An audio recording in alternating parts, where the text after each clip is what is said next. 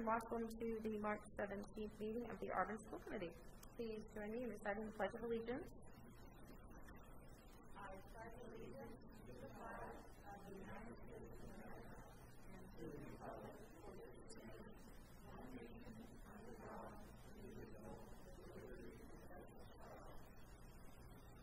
Let's begin with introductions down here to my right, please. An at-large. Comment, Ward four. Pam Hart, Ward Two. Karen Matthew, Ward Three. Connie Brown, Superintendent of Schools. Faith Fontaine at large. And Page Ward five. Brian Carrier, Mayor's Representative. Abigail Fauché, Student Representative. All right, and Cora McWiggin has an excused absence for this evening. All right, we're going to begin this evening with a budget work, budget workshop going over cost centers eight and nine, which are maintenance and transportation. The regular meeting will follow. Thank you very much. So this is going to turn over to Mr. Hunter, Mr. Hanson, to talk about the transportation and facilities. Well, happy St. Patrick's Day, everybody. And uh, we'll start off with cost centers eight, of, uh, eight, nine, of transportation facilities and maintenance. Uh, the Auburn Transportation Fleet consists of uh, 38 buses, 24 of which are your to and from school. We have 14 spare buses. Uh, we purchased four new buses in FY '21. Two are general fund and two are CRF funds. All daily buses are 2016 or newer, so we have a fairly new fleet in good shape. Uh, no bus purchase request in FY '22 budget this year. That 38 buses, 34 of them are conventional buses, 77 passengers. Four of those have wheelchair lifts. One transit, which is a little bit larger, that flat nose bus that you sometimes see that does a lot of trips. It has a lot of storage underneath, so that's why we have that. Uh, three minibuses, and all three of those have wheelchair lifts also. Of those buses, nine of them are gasoline powered buses, 21 are propane powered, and eight are still diesels. The eight diesels are the oldest ones that we're trying to work our way out of. Our van fleet, we have five eight passenger vans, we have eight seven passenger vans. We purchased four student transportation vans from the CRF money. Vans have historically been purchased through our CIP.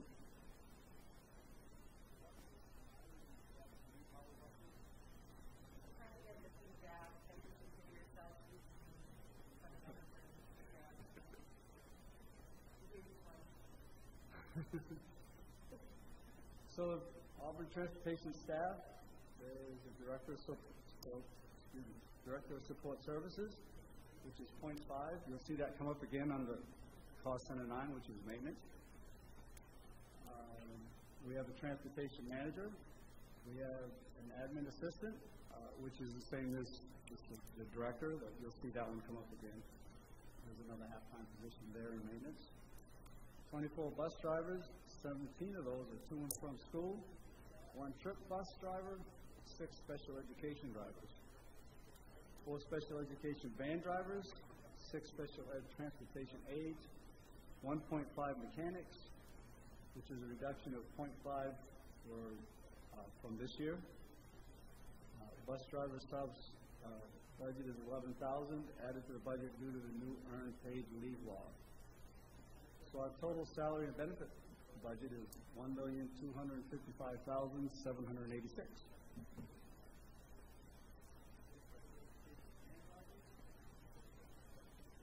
All the transportation non-staffing costs, professional services, four thousand four hundred dollars. Those are physicals uh, and the random drug testing that we have to be part of uh, for the drivers. Software is seventeen thousand eight seventy-nine, which uh, is our Verizon GPS program that's in every one of our buses, including the maintenance fleet, uh, and trip scheduling software. Our insurance costs is seventy-four thousand five twenty-two. Repair and maintenance on those vehicles is budgeted at ninety-three thousand five eighteen. Contracted vehicle repairs and supplies. travel is two thousand five hundred dollars. That's primarily the Easy Pass account when we go out of town. The tire account is twenty-two thousand nine twenty. Office supplies is 4,800. Fuel is one thousand three hundred, uh, one hundred and thirty thousand six oh four. The con- contracted special education slash homeless budget is one hundred and five thousand five hundred. Staff recognition is four hundred dollars. Uh, non, total non-salary slash benefit cost is four hundred fifty-seven thousand forty-four dollars.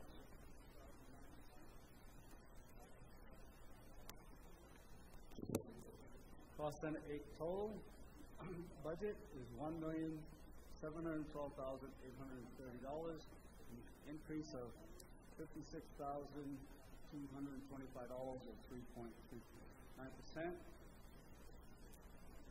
Part of that is the director's salary, half of that director's salary going into that. Just to add to that, um, you, you talked about last week that some of the principals and uh, assistants were shifted. Uh, We also shifted part of uh, Billy's director salary into transportation, just to be more accurate in where we're putting things. So that was sort of part of that, along the same lines, just to clarify that was about.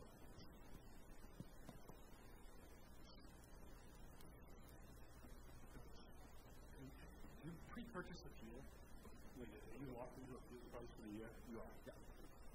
Pro- Propane and, uh, well, propane and uh, regular gasoline we are. Uh, the diesel we are not anymore because we use very little diesel. Those diesel buses are spare buses, uh, so there's really no need to. Mr. Hunter, when you talk about special ed transportation, is that contracting out to perhaps Bill Gordon?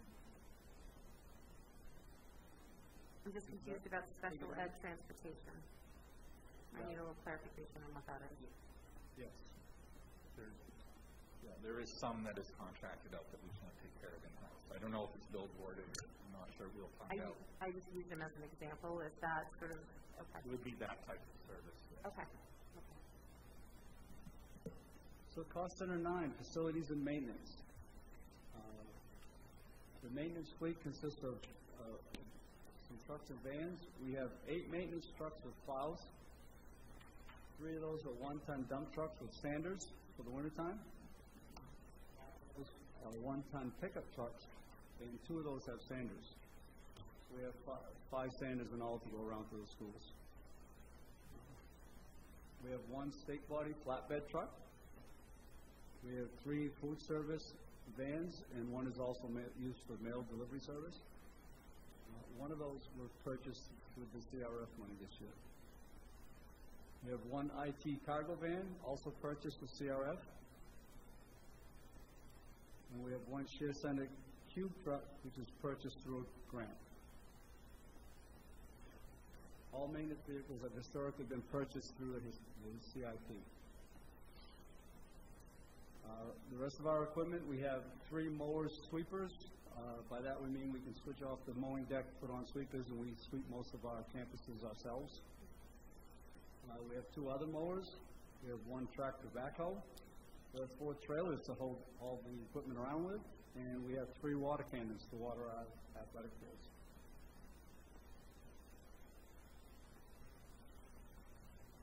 Auburn facility staff, there's the other half of the Director of Support Services.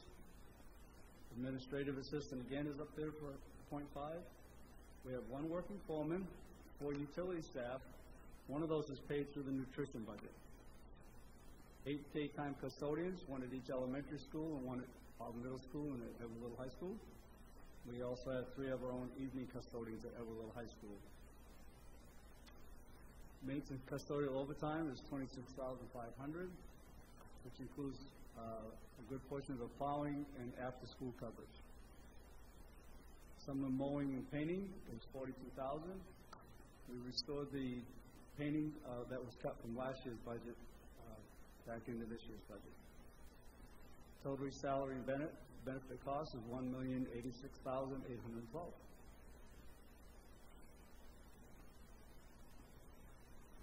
Contract services and utilities, contracted custodial service at all the schools in the evening, and halftime at Franklin and at the ROTC building is five hundred seventy-five thousand, six thirty-one. We also have some service contracts for our boiler and climate control systems, which is eighty-three thousand, nine eleven. We have a roof contract for maintenance, which is twenty-eight thousand, fifty. We have quarterly elevator inspections, which is six thousand, three hundred. Waste disposal and re- recycling is 31,097. Now, utilities of the water and sewage is 84,264. Our natural gas is 328,584. The decrease of 16,793 or 4.86%. Electricity is 347,709, a decrease of 8,301 or 2.33%. Propane and kerosene is twenty-two thousand four ninety-one. All our facilities are on propane, except for, we have one portable trailer at Auburn Middle School, which is an outside heating unit, which is uh, kerosene, we use with kerosene. I was just going to add, uh, Mr. Simpson may ask, yes, we do lock in our electricity and natural gas. Uh, We did those competitively. And that led to some of the savings you see, uh, the reduction from FY '21 to FY '22. Thank you, because this time I was gonna ask, how, do- how do you know, how do you know there's a decrease? Thank you. So this is a little uh, slide of our facility inspection programs that we have. All our vehicles are inspected weekly. Monthly, we have a program that inspects ex- exit lights, emergency lights, and all the fire extinguishers. We have a quarterly program, which is the sprinklers, elevators, air filters, and the AEDs. An annual uh, inspection of the boilers, fuel tanks, fire alarms, intrusion alarms, the bleachers at two schools, three schools, uh, gym divider curtains, basketball hardware, which is the basketball frames and hoops, uh, surveillance cameras, and fire hydrants. Repair maintenance costs, construction projects, thirty thousand dollars. Custodial supplies, one hundred and three thousand five dollars. Maintenance supplies, sixty thousand one fifty-one. Fields and ground supplies slash maintenance is forty-seven two forty, which also includes our playground chips that we put in the playgrounds. Repair and maintenance, two, two hundred and nineteen thousand seven ninety-six. Uh, the heat, which includes the heat and boiler maintenance decreased by one, thirteen thousand nine sixty-nine or nine point three four percent. Gas and maintenance, uh, gasoline for the maintenance vehicles is ten thousand two seventy. Tires and supplies and, uh, maintenance, for the maintenance vehicles, fourteen thousand eight seventy. There are no new security cameras coming this year, uh, which is a decrease of twenty-four thousand nine twenty-five. Just a little bit more on that. We have a really good uh, stock of spare parts right now, and our cameras are in good shape, so we thought there was no need to fund anything for next year. That may return in the future, however.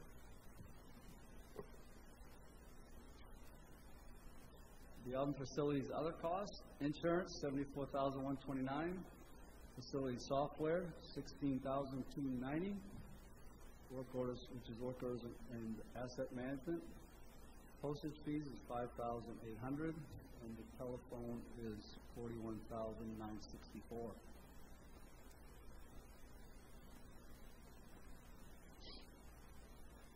Debt service, minor capital debt service is listed under cost center nine, which is, includes the CIP projects, the revolving reno- renovation funds, the QZAB funds, the Siemens performance contracts, to a total minor capital debt service of one million, seven forty-eight, eight forty-three. Reduction of one hundred nine thousand, five eighteen. Expiring debt is greater than the new CIP debt this.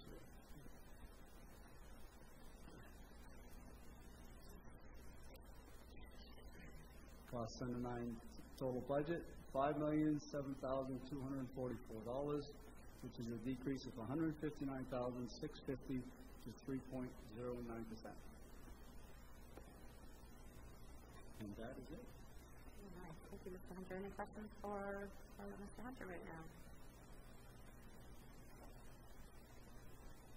Seeing none, thank you so much for joining us this evening. Um, You're welcome. I think that brings us to the end of our processes as well, doesn't it? It does, uh, and if I might, um, I'd like to propose an amendment to the budget calendar. So we have, uh, meetings scheduled for the twenty-first of March, talking about debt, all other areas such as crossing guards, result debt, and revenue. And talking to Mr. Hanson, we don't think that's going to take a long time, probably more than a half an hour. What we'd like to do that evening is reserve the other hour and a half for your deliberation, determination of what figure you'd like to send to your public hearing, and cancel the March thirty-first budget meeting, that's acceptable to the school committee. Any opposition to canceling and condensing everything to March twenty-fourth? Thank you.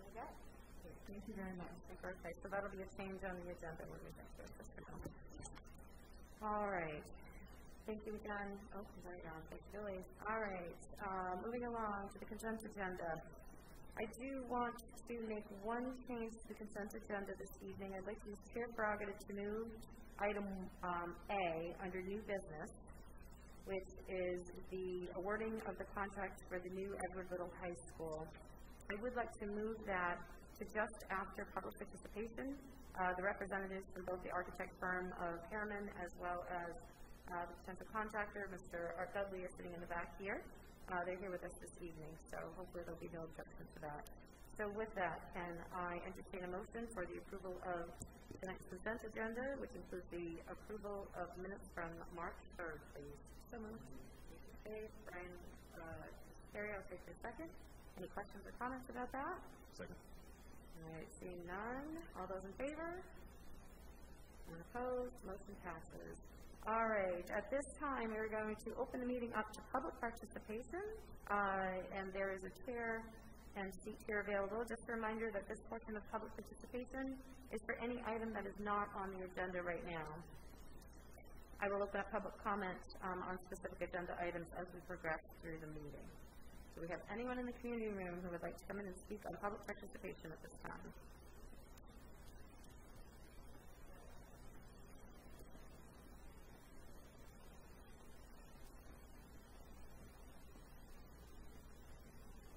Very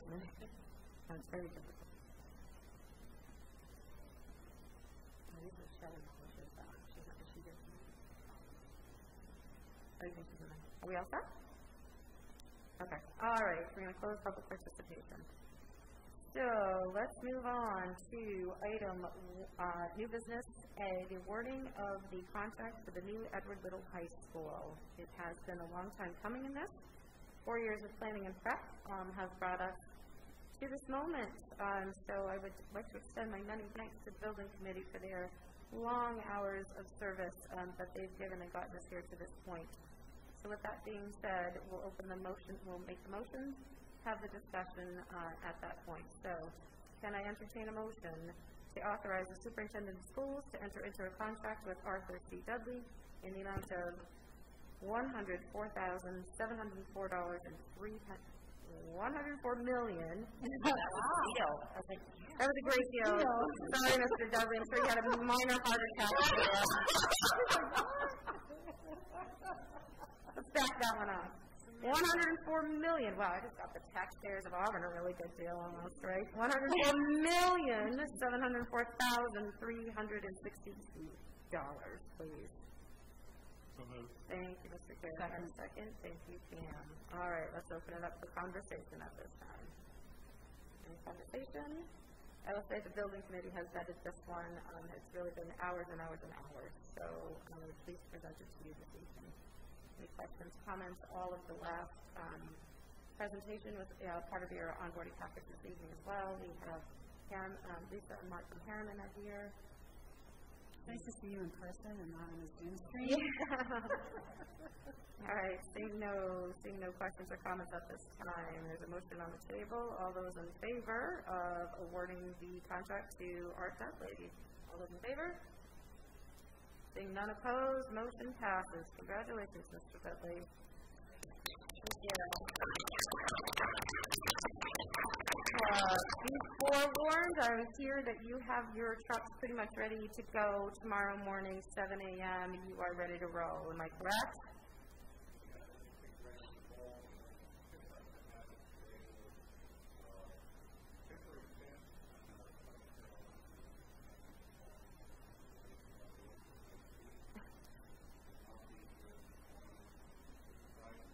Okay.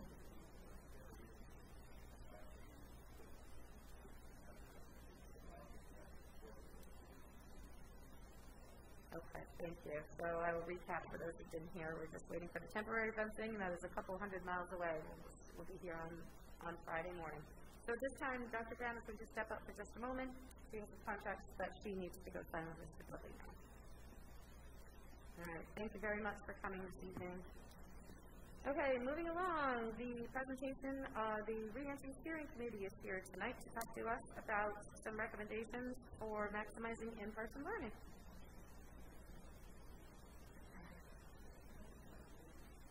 Yes, so if there are members from the steering committee that are in the community room, we are inviting you to come on in.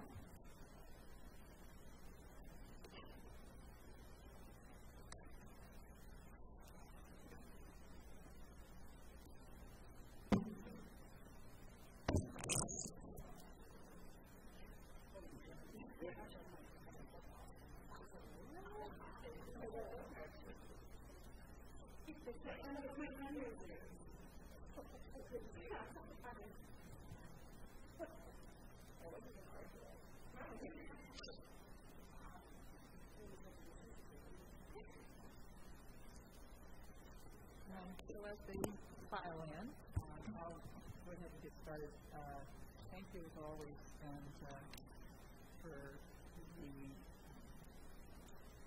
lighting a steering committee here tonight to present to you. Uh, As you know, at the February 3rd school committee meeting, uh, the school committee approved the steering committee recommendation to use Wednesdays to bring alternating cohorts back into schools. Uh, This was a step, uh, but not a destination in increasing in-person learning. So tonight we have uh, members from the steering committee here, uh, and they'll be presenting to you the recommendations uh, coming out of the steering committee to continue to increase in-person learning. I was, in preparing for this tonight, I was remi- I was reminding, um, reminded of the fact that members of this school committee have been committed, expressing their commitment to bringing our students back into school as soon as possible while maintaining safety. And so it's with that in mind that the steering committee has been doing its work. And just one minute, if I might. I just would like to recognize, these are some of the members of the committee. This is probably third of the steering committee um, who were able to be here tonight. They were all invited, but they were, these were the folks who, who um, were able to come. But I just would like to recognize them. The, the task that they've undertaken, um, some from the beginning of the school year to now, most recently, has been monumental. And I'd say it's just increased in, in its um, monumental stature of, of a task. So I just want to recognize them tonight. Many hours, um, certainly being diligent and open-minded in addressing the goal that came out of, again, from hearing from the school committee um, about the direction that, that was important uh, for our students. So the goal in mind uh, that they that we've used in our meetings uh, here is the, to increase in-person learning while maintaining the current safety guidelines. So the safety guidelines are masking, hand hygiene, they all fall under those six guidelines to reopen school. The distancing being maintaining in the current level of six feet. So just real clear on that. Okay. The recommendation, you've seen in your packet, but the recommendation tonight that you will be discussing and deciding, deciding upon later in the agenda uh, is number one, high support needs students from pre-K to eighth grade will attend school five days a week. And the second part is all students in cohorts A and B in grades 9 through 12 will attend school five days a week. Um, you can see that, what happened to me? I got booted off. See if I can't get back on.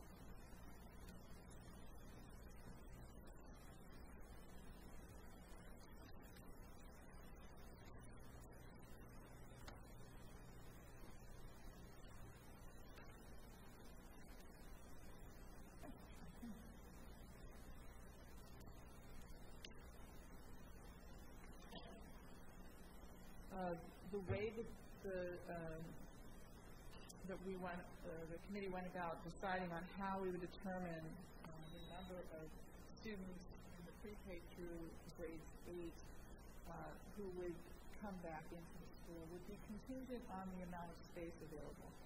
So there was a great deal of work that was done, has been done over and over really again by uh, building administrators to determine what exactly the space is available, um, given those, the guidelines that have been put in place.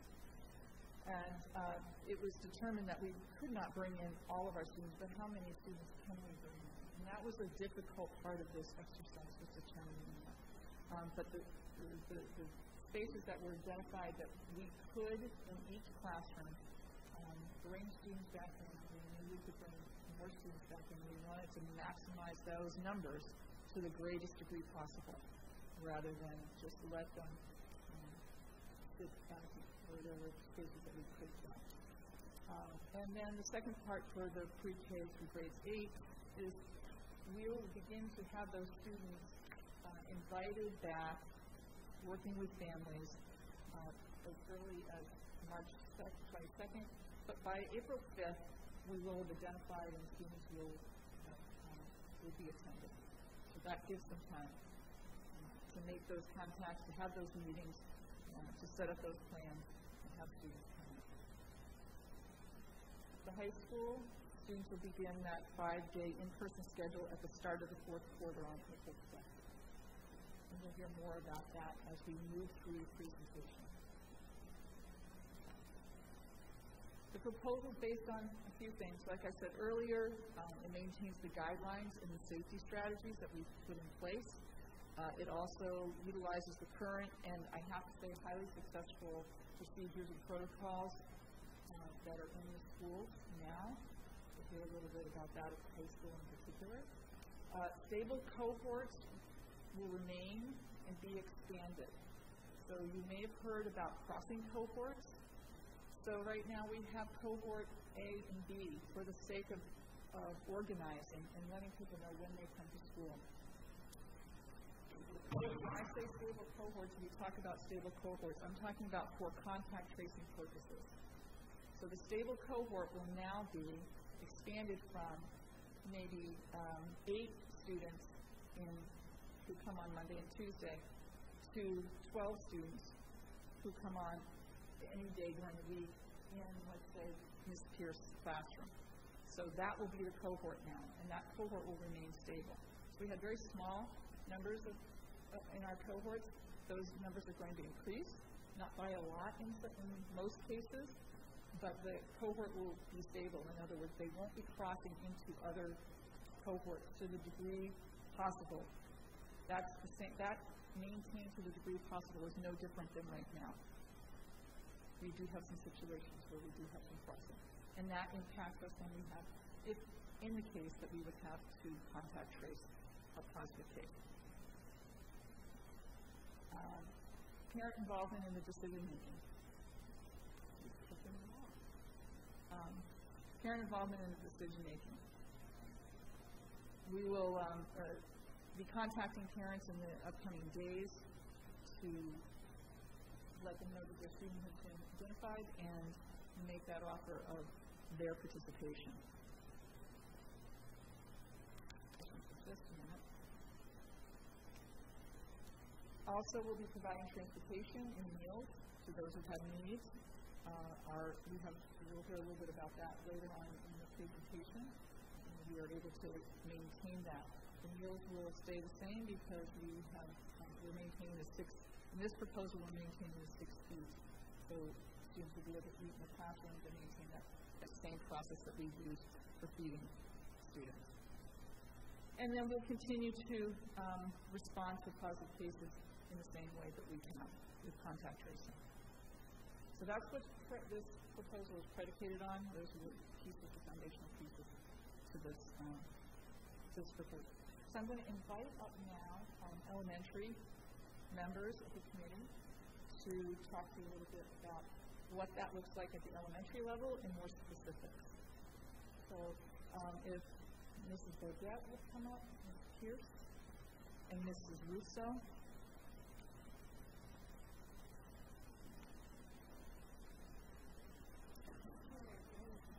Great.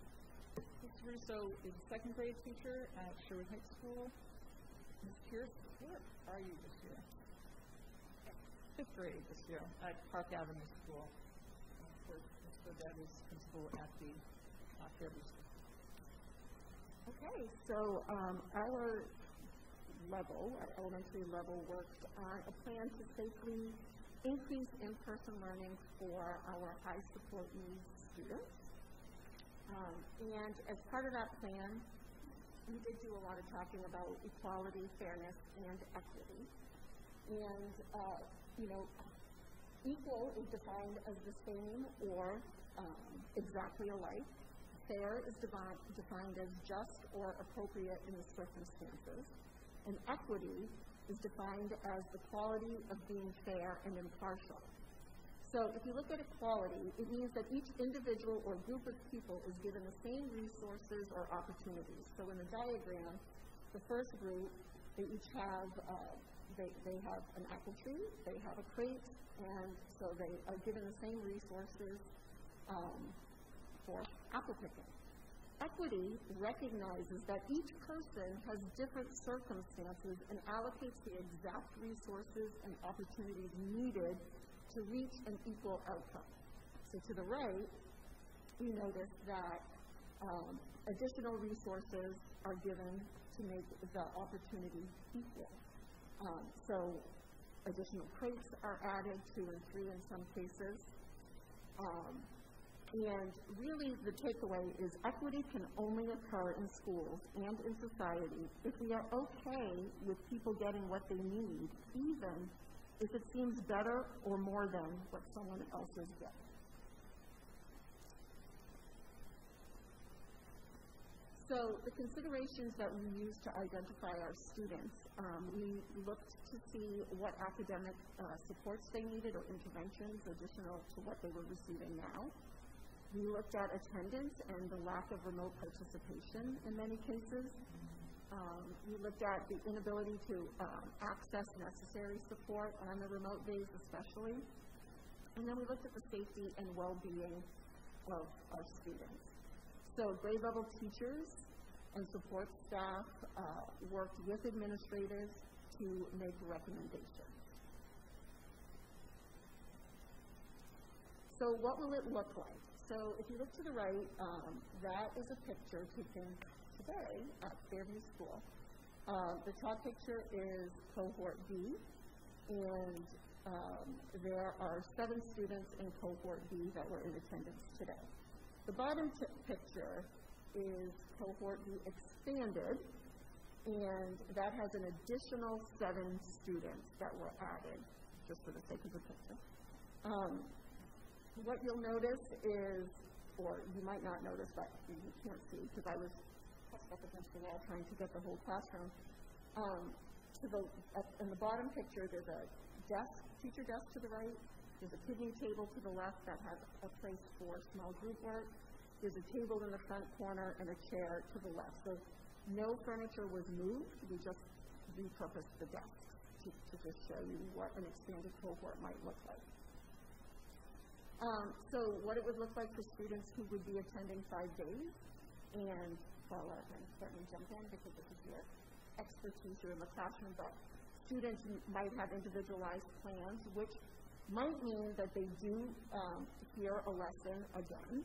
Um, repetition is not a, a bad, it's a great learning strategy, actually. If they needed to hear the lesson again, they might hear the lesson again. If not, they would be working on whatever work the teacher has deemed appropriate for them, what, what meets their needs. Um, they would have differentiated instruction. So one thing that elementary teachers do every day, and they do it really well, is differentiate instruction. And they have lots of kids in their classroom at different levels, and they're constantly um, meeting the needs of those students. So using a workshop model helps to do that. Uh, a direct instruction or mini lesson might be 10 to 20 minutes in length.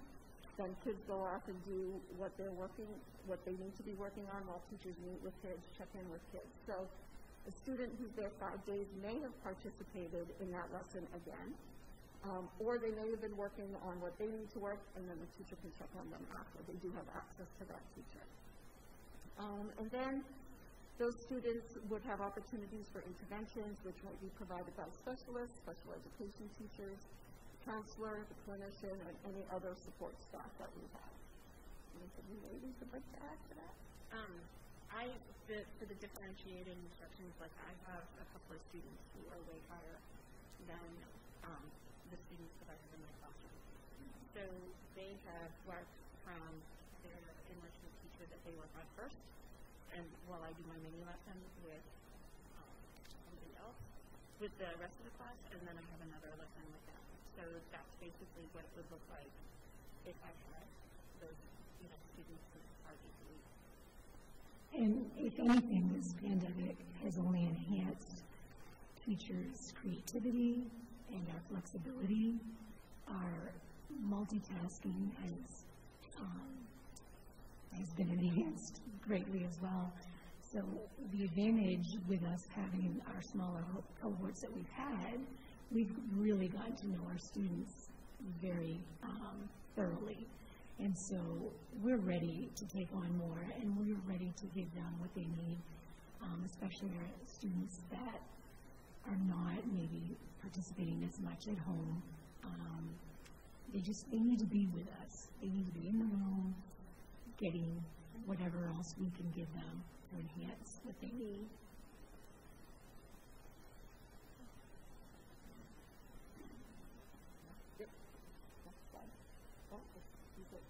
We're having a little technical I have next.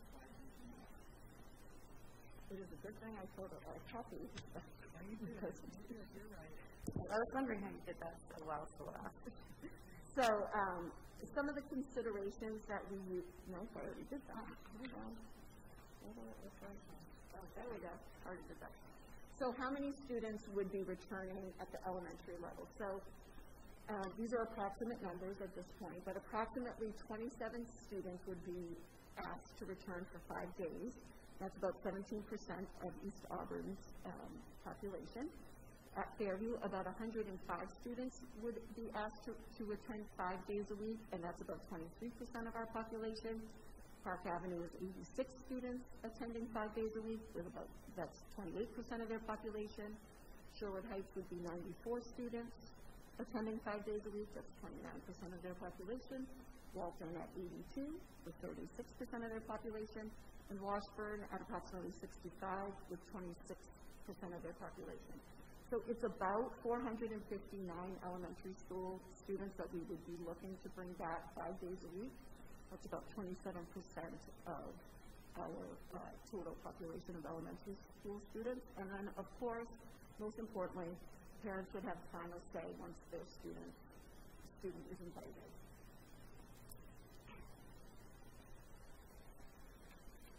About your last slide. That was the last slide for elementary. So let's open it up uh, to questions for thinking just about the elementary school um, reentry proposal at this point for elementary. Any questions at this point?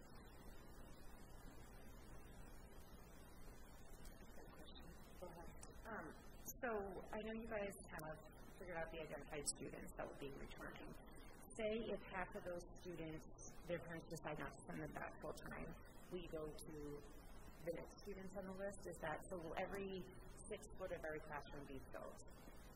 So, um, that's a good question. We are not necessarily filling every single seat that's available right now because we're looking at the criteria. Um, with that being said, we know that not everybody, we're anticipating that not everybody that we invite will, um, want, want this. So we would look at other students who could benefit from it. The other piece is, um, just because we're asking them right now, um, doesn't mean that two weeks down the road, we're like, oh, you know, Johnny really could have benefited and something's going on, let's, you know, we would have some openings and some space to be, to ask kids to join. And then, um, my other question is, I know there's other school districts going back full-time with the three-foot rule. What, how have we explored that? And I know that looks different with eating and other aspects of the daily classroom. Um, but I know other schools are doing that, so can anybody speak to that, why we're sticking with the six? Sure.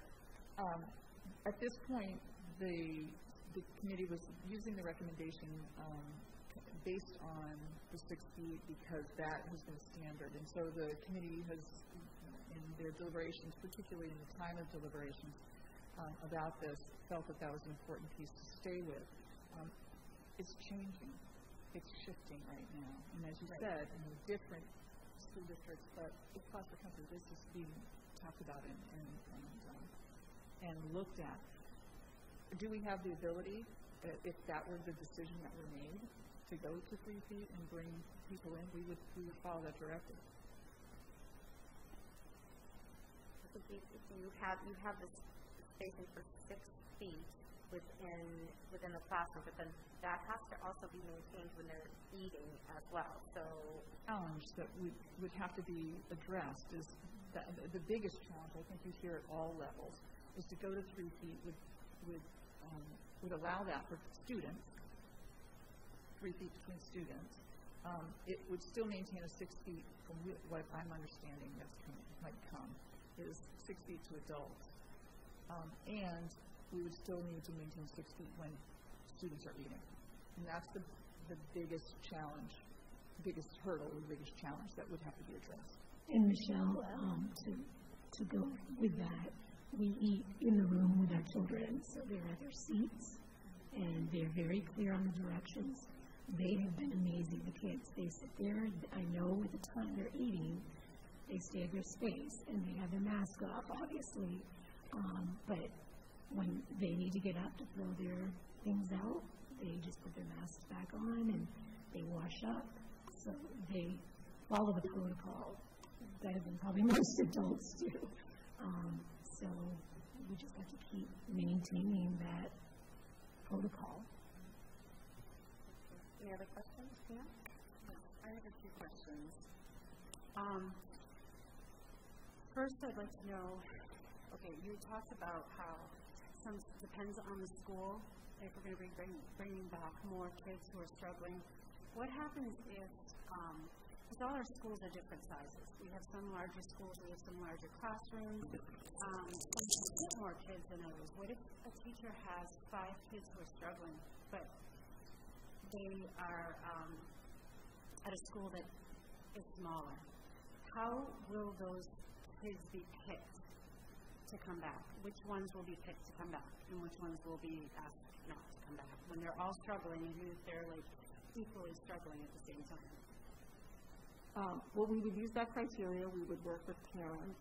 Um, I, there's lots of different factors. So sometimes um, we do have, you know, kids who are struggling, but we know for whatever reason, Johnny parents don't want him to come back. So it's really kind of knowing your students, knowing your families. Um, if you look at the percentages, actually, so Fairview is um, the largest school, and so we do have space, but my percent is only 23% of my population, where, you know, Walton is 36%, um, Sherwood Heights 29, and Washburn is even right in that average of 26. Um, so decisions do have to be made, and um, I think we work together as a team. We work with parents, we look at the students, we look at their needs, and you know just go from there. So if, if it's just gonna be, the suggestion that you're making is just struggling kids that are coming back. It's not like they said, or someone said, I'm sorry, um, saying we're not just filling seats. Like if we have the available, the available space in one class, we're not just filling up those seats because we have the availability. We're doing it because just the struggling kids are coming in.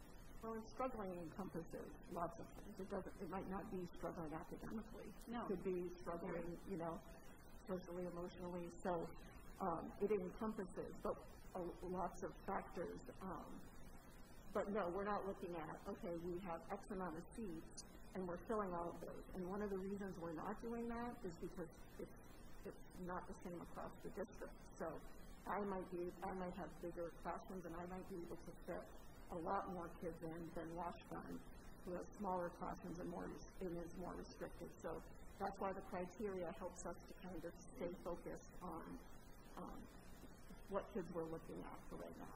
I think the other thing that, and I know that Michelle and we had talked about this earlier this week, was that I just got a new student.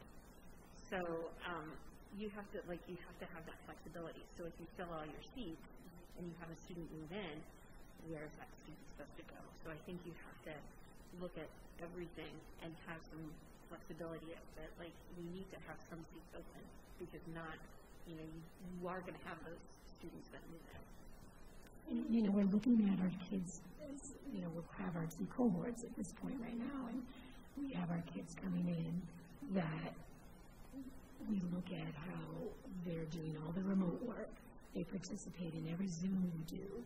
They um, participate in the classroom. So those are our, our stronger, not always just higher, but they do have supports in place, and some of them are just internally motivated. But then you have other kids it's just they, they're not able to sit at home and follow my Google Classroom plan when they're not with me. Um, they don't have someone. Oh, did you check number two? Did you do number three? Did you did you read this attachment? Um, so there's so many things that we have to look at in as our guidelines to make those determinations. So it's not just two or three little things we're looking at. There's a lot of there's a lot to the picture that we're looking at as we make those decisions. So my question is, what is the criteria? Because I'm hearing that the criteria encompasses a lot, but I don't know the specific criteria. Is it grades? Is it truancy? Is it mental health? Is it social emotional learning?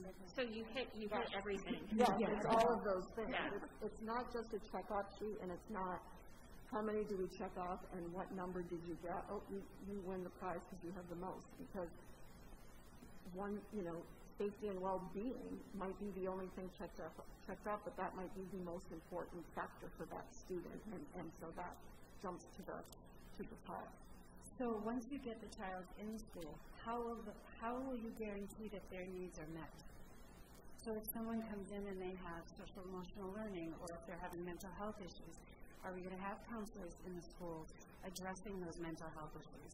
If, if it's grades, is this child going to have more tutoring than they normally would have? What is what? How To do what we do every day. So mm-hmm. you use the word guarantee, and there's never. I'm, I'd love to be able to say I can guarantee that everyone's going to get everything they need. I can't say that in a non-pandemic year, right? I can guarantee that we're going to try to give them everything they need. So we're going, it's going to give us more time with that student, more face time with that student. And yes, our school counselors will be there. We'll, we'll connect them with the resources they need, just like we do if they're here only two days a week. Um, it's just that some students could benefit from more. Um, so we're going to do all the things that we do every single day. It's just, and, and no, there's not a guarantee that it's going to work for that student, but I would like to think that something will be better for that student. Something, they'll benefit from something.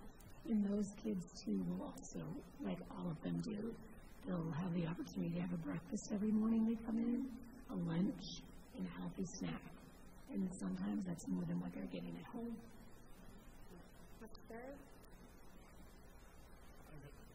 I guess I, I don't want this to come off as negative, but I'm looking at this list, and where we had such issues in the past with identifying, identified children for this or that.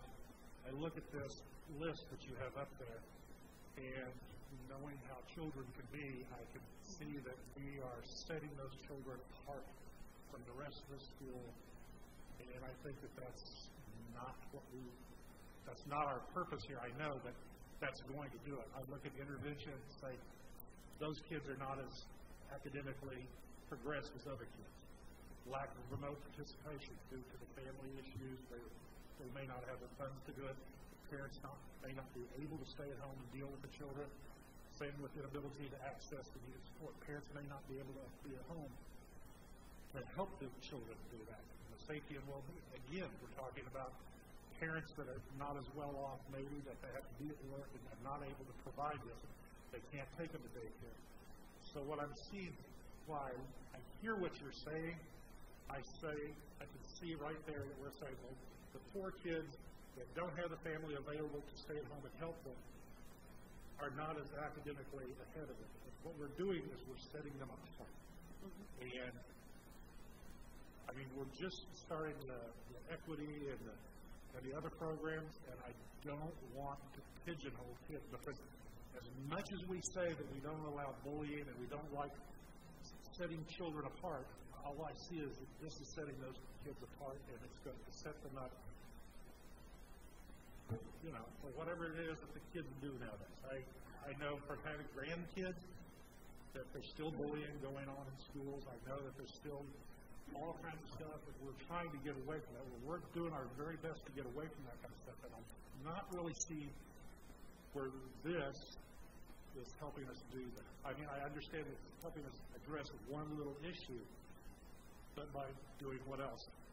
And we, we may be addressing this issue, but what else are we setting those kids up?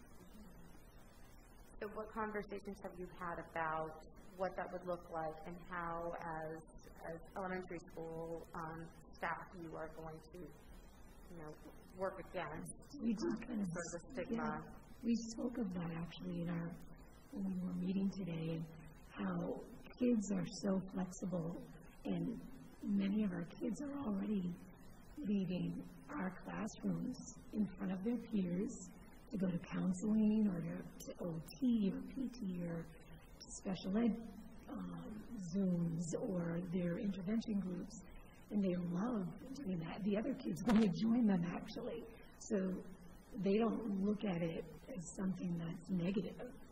Um, and as far as bullying, we have not seen that. I haven't seen any because we don't have, we don't, we, we don't have a morning recess at this point. Our lunches are together in our room, so we're, we're working as a team at this point. I feel like we're teammates right now, and I don't know, I feel like there's more respect than ever right now because of this. I have say that in our class, in, in our school, we're a little bit different because I'm at Park Avenue. So we have a vast diversity of students.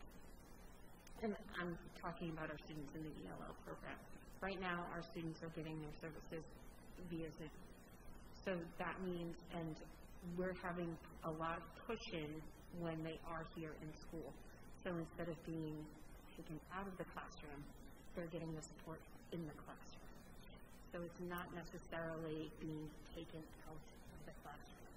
Um, I, we have support for whether it's special ed, whether it's the ELO program, there's support, and all students are receiving that support. So, you know, in my math class, I do have ELO support, but the, the teacher that's with me, she supports all my students. So it's not necessarily just for those students, so everybody gets that help. Kids are pretty, um, they're pretty amazing, and they a lot of times don't even bat an eye, and it, it's, it's just becomes it's the culture, and you know, Johnny's going out to get what Johnny needs. I'm here because I'm getting what I need. Uh, I'm not saying that it's always perfect, and certainly we, we talk and work with students um, who are struggling with that, or students who might not be as respectful around some of those issues. But for the most part, kids are kind of, you know, I'm here, I'm doing my thing, he's doing his thing, she's doing her thing. Um, And like Paula said and like Courtney said, pre-COVID and post-COVID, kids are going to be coming and going and getting the supports they need. Um, kids are wise. They know who struggles in the class. The kid who struggles knows they struggle in the class. The kid who struggles can tell you who doesn't struggle in the class. That's a every year pandemic, non-pandemic issue that we work with and we try to build self-esteem and find everybody's strengths. And my strength might be different than your strength. Um, and so it's just part of what we do in, in the culture that, that we build at school. So uh, kids are, they're amazing. And you want to ask a question on that? Yeah, I did actually. Um, I think you've done a really uh, thorough job of this. Um, I think it, mimics well what Dr. Brown asked us to consider a while ago. I think it's imperative that we all keep in the forefront that I think maybe in January we knew that uh, at least 25% of these kids were challenged, were, were, were having a really, really hard time. Um, I, I agree kids are resilient. Um, I think the older they get, the more stigma is attached. That, that I'm sure that'll be um, considered. My question, or but it's really not for you, Ms. Godet. Um, at some point last fall, and I don't know when it was, um, I'm on the finance committee. We approved purchasing three modular classrooms that I initially was opposed to. I didn't think we needed more real estate. And what swayed my vote was um, a person said, this will get kids back in the classroom faster. So my question is, are we using these,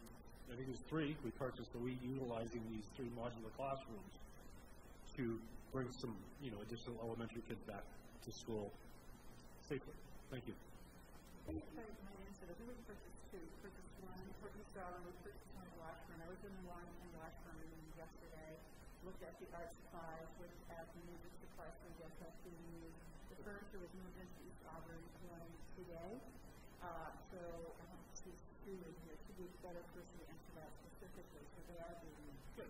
Wonderful. Thank you.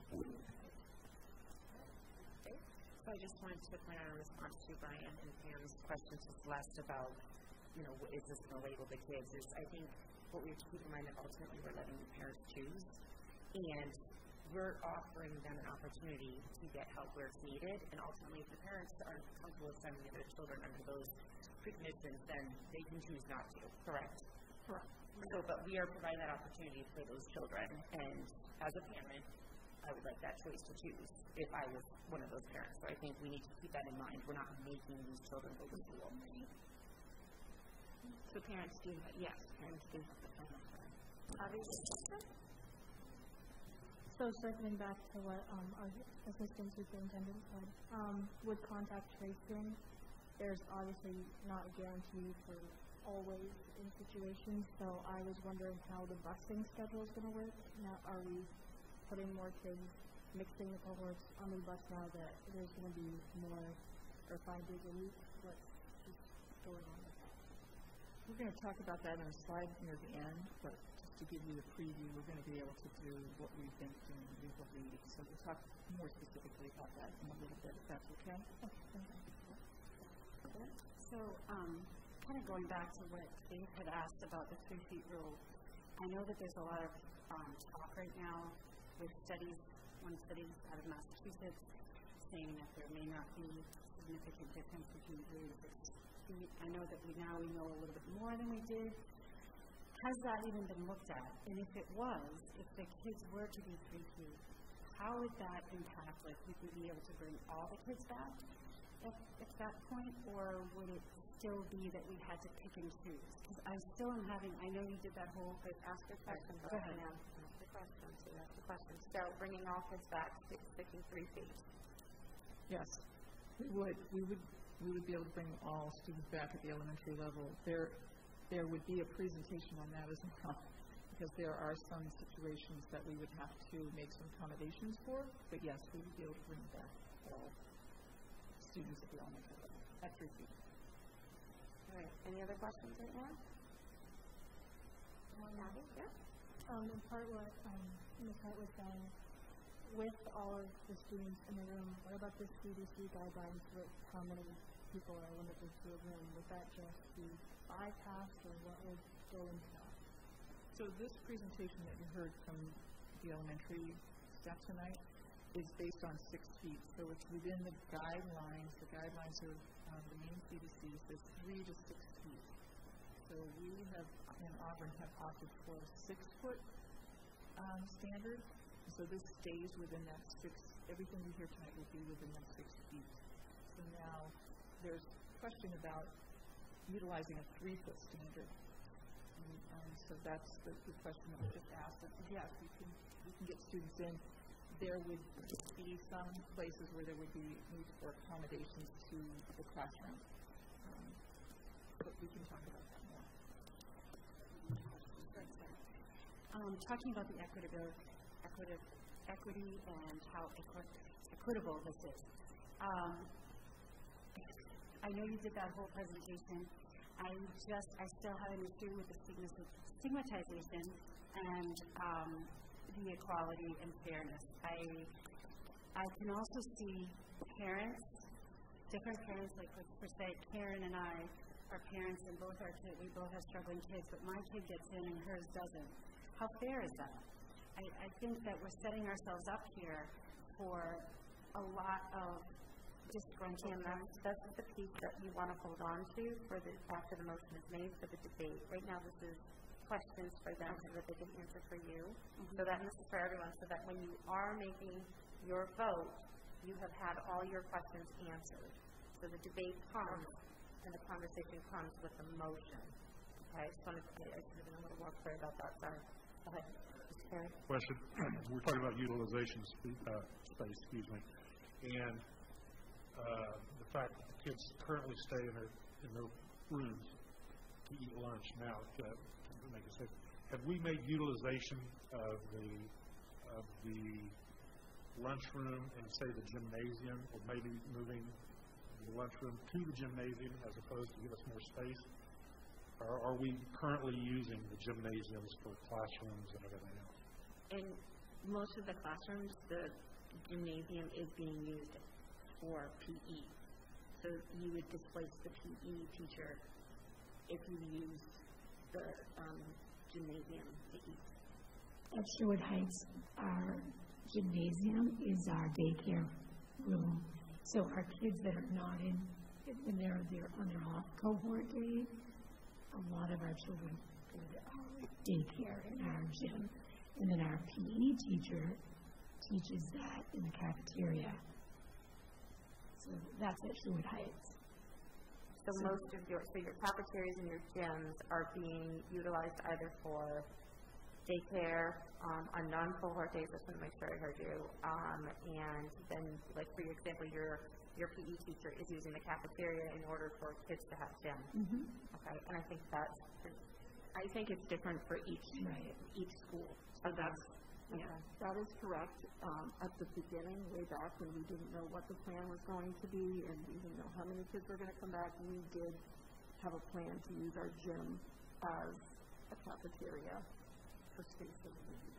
So, Well, I I knew that some of the, some of the, the space lent itself to better use than, mean, you, you have a large gymnasium, and I think automatically at least Auburn knew has. I just wanted to know about the use of the space, and what we're currently using it for. but if I'm hearing correctly, the the three-foot rule doesn't work for eating, and now you have no place to eat if we bring them all back, because your spaces are being used. well, We've gotta brought them all maintain back, daycare wouldn't be using it during the day. Right, we brought them all back, now we just, now we just displaced daycare. Oh, okay. Yeah. You would, when you did. Oh, we wouldn't, yeah, We don't we need wouldn't daycare. need No that. need Oh, take, yeah, sorry. no need daycare if you bring them back. Yeah, sorry about that. Are they still going out to recess? Yeah, not in the morning, just after they eat their lunch.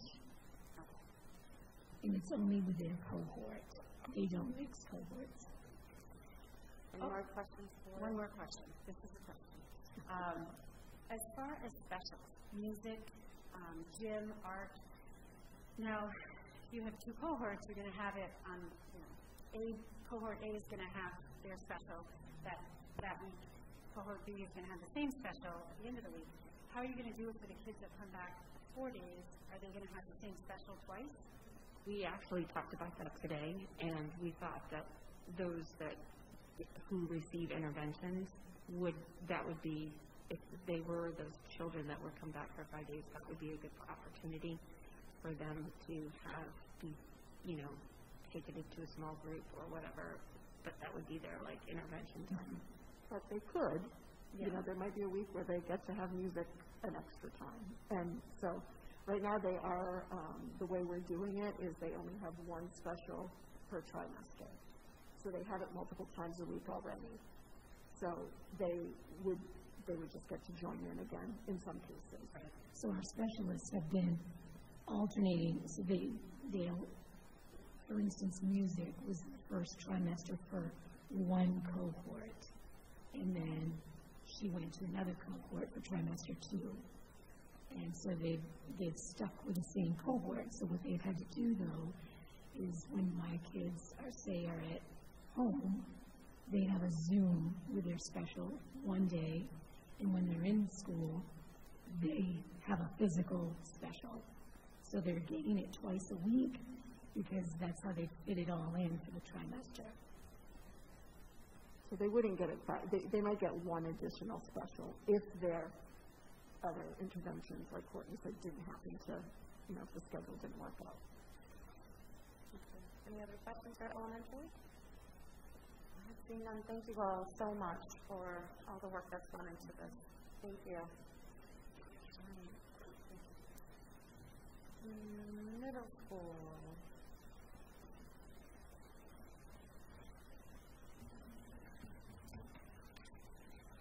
Tanya, would you step in here to see if you can help me with their plan? I did restart.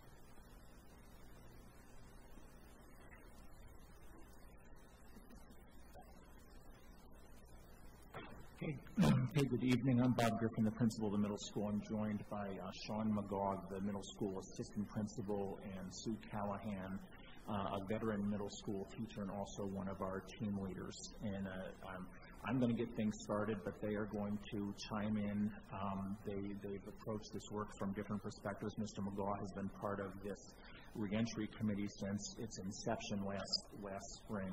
Ms. Callahan and I have joined the work um, now for the, the last few months. Um, so to just give you a picture of Auburn Middle School today, and I want to highlight just a, a few differences um, about the middle school compared to the elementary and the high school. So today, um, or, or as of a couple weeks ago, we had an enrollment of 494 students, 150 of them fully remote. Knowing that um, there was um, some increase in demand at the end of the summer about for parents wanting to go fully remote, I made the decision to put together a fully remote, dedicated team of teachers and that has gone um, that has gone very well. So those teachers are still in the building every day, um, but they're they're working the same. So I do not expect much movement from fully remote students um, to coming back in five days. Um, currently, on A days in person, we have um, about 179 students. On B days, 165. You may ask, why are those numbers a little bit lopsided? Um, That is because we have, since the beginning of the school year, accommodated every single parent request for movement.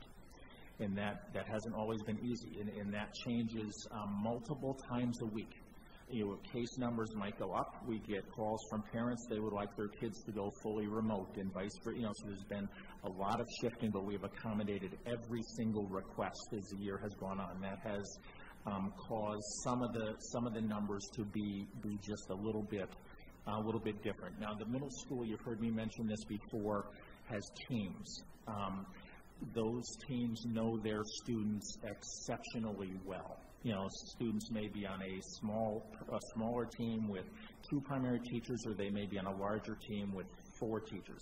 The teachers um, meet during the week uh, during common planning time. They talk about their students. They know their students' strengths and weaknesses. They know their students' star scores, grades. They know um, um, struggles possibly outside of school. They know the social emotional um, needs of, of all of their students. in looking at the criteria we have put together, and I appreciated listening to the comments and questions from school committee members with the earlier presentation. I, I, as principal, I'm, I'm worried about I'm worried about things like star scores. Um, I, I'm more worried about the social, emotional health of my students. Um, so that when when I've asked when I've tasked team leaders in the last few weeks to begin this work, which they have eagerly taken on, um, that is, you know, I said it, it isn't it isn't all the star scores. We may have a student who is doing okay on their star testing, but is having they're having a really tough time outside of school, and we uh, we we need them in school. We need them where they connect with our um, our interventionist, with our social worker, with our school counselors, and things like that. So the the criteria that I had asked the team leaders and that our group had come up with you know, as teams will be making recommendations to extend invitations to families. You know, looking at STAR scores, progress reports, grades, remote attendance, um, and then the, the, mental health needs and, and individual needs are, are, considered when we're making these recommendations for these students to return um, to five days a week. So um, again, um, it isn't real easy to quantify the social emotional needs of students, so that is why we very intentionally did not have cutoffs of. We didn't say they're failing one class or their star score is this. You know, we really wanted to look a little bit more holistically and again, leaning toward the social, emotional, and mental health needs of, of, our, of our students.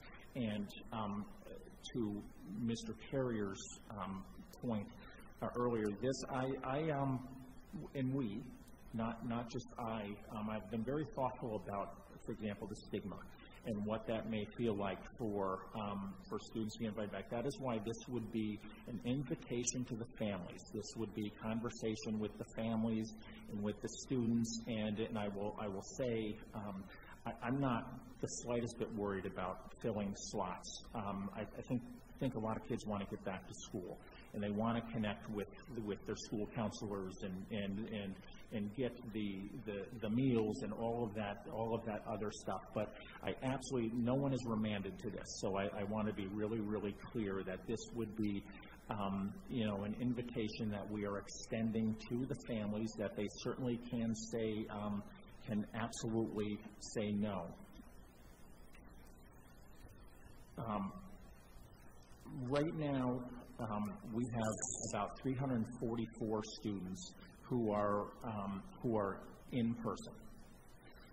Um, this, what we are pr- proposing, um, expands, you know, our, our, our slots. So we, we have 291 seats available at Auburn Middle School. We have um, measured and remeasured, and we measured again. And I, I also want to want you to hear from me. I, I made the decision that I was not going to decimate classrooms. I was not going to remove bookshelves from all of the classrooms. Now, if there was stuff that could be removed, we absolutely have removed it and stored it, but it was a priority of mine that we absolutely want to have as many seats in classrooms as we can, but I did not want it to be just this barren cave. You know, it's really important that teachers have access to to their teaching resources. It's important that we have books in, in classrooms and stuff like that. I also want to share with you, um, you know, we, we're, um, my math is going to be great here, um, we're about 55 spaces down. You know, um, with, with 55 more spots, we could, we could have, have our students back. Um, there, there, are two primary challenges with that. Um, one is space, I, I also made the decision that um, I think the middle school library is a really important place. I think it's really important during the pandemic. We have been putting out a ton of books that students are bringing home, so I did not um, close our library and put a classroom in there. Now, even if I did, I don't have adults to supervise that. Um, we have been down multiple positions every day of the school year, and in addition to the multiple positions we've been down, um, uh, the last couple days have, have been typical examples. We, we had seven people out yesterday and we had six people out today. So we are stretched so thin that that is Mr. McGaw and I covering classes, which, which we love to do, but is not, is not, is not all that easy.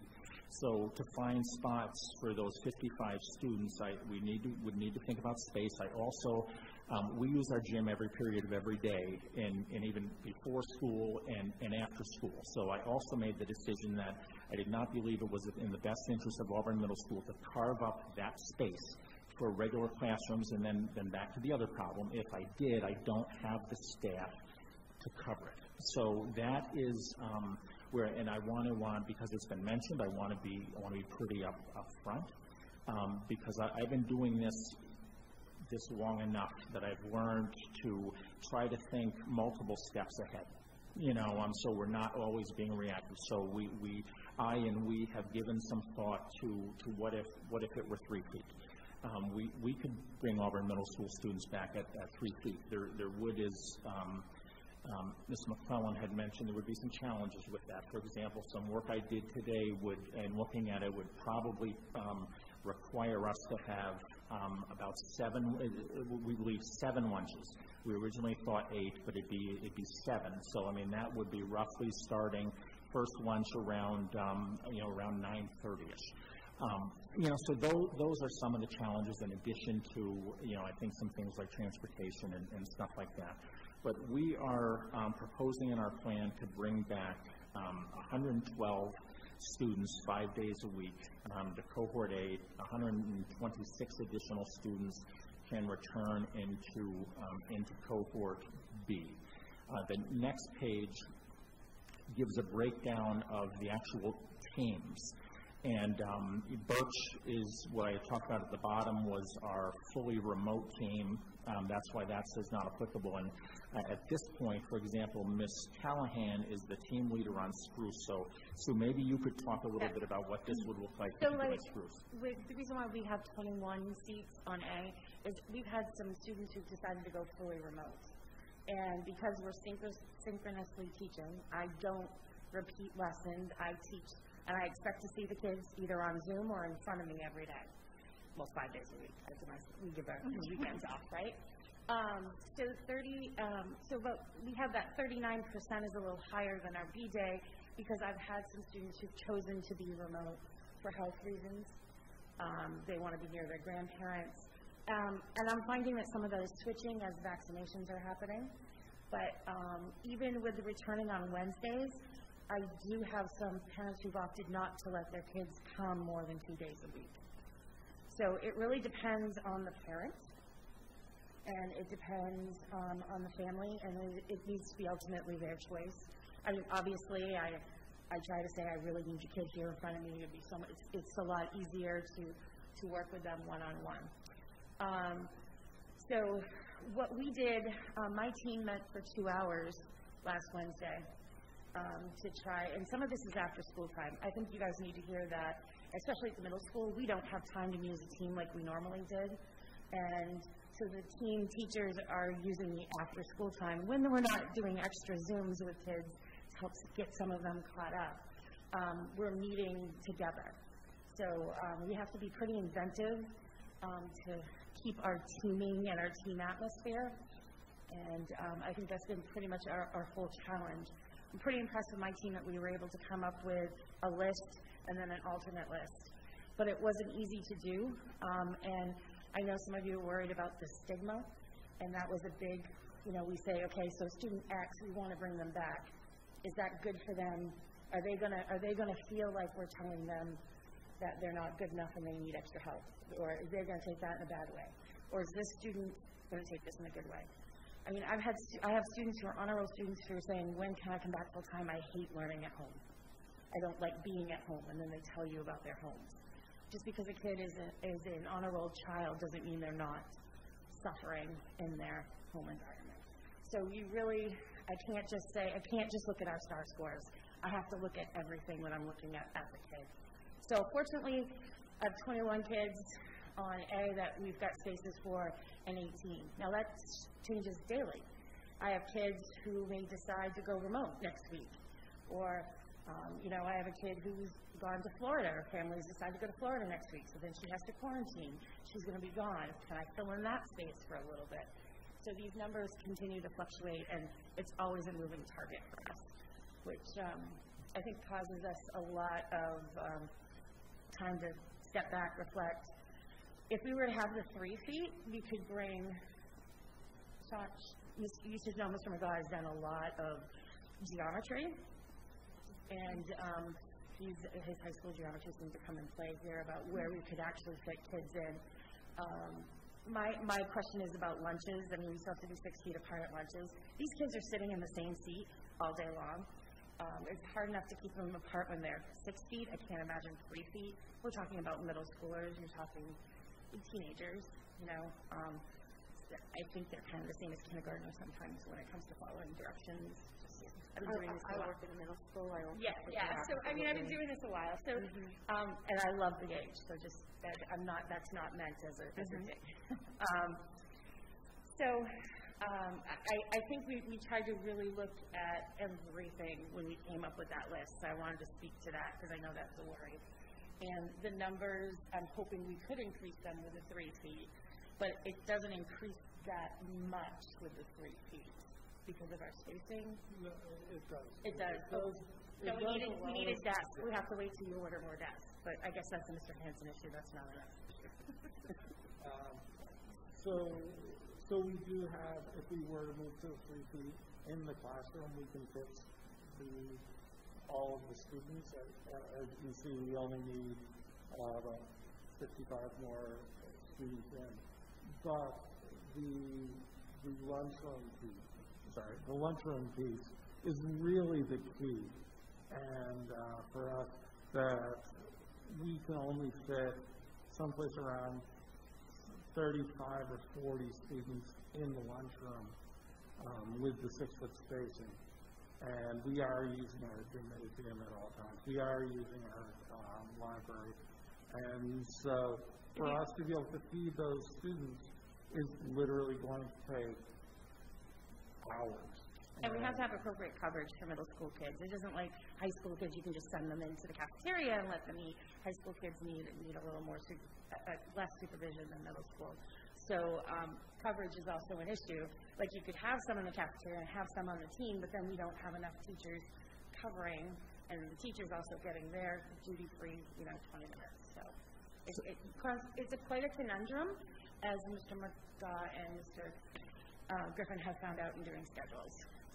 So uh, this plan would maintain um, the remote option for, for those who have chosen that. There would also be um, students who are there for two days a week, like cohort A, and two days a week, cohort B, and then there would be a group of students who were there, um, who were there five days a week. And I, I, with confidence, can say, like Sue had talked about the work her team has done, we will be ready, um, you know, depending on how this evening goes, to implement uh, this and get going right away and getting these, um, getting these students um, back. We, uh, all of us, uh, without exception, believe that um, in-person, face-to-face learning is, is best for our students. And the, the 291 number does reflect uh, 84.5% of our students back. So it is the vast majority of our students back, um, uh, of the in-person students. So that's pretty exciting for us. Questions at this point? So each, so it, on, This would be a five-day school. yeah, so, so you can see, um, each team would have individually those, those numbers. I think there was a slide that had, you had 112 students in cohort A, 126 students in cohort B. I'm going to stay away So it's from numbers tonight. for this and just say the.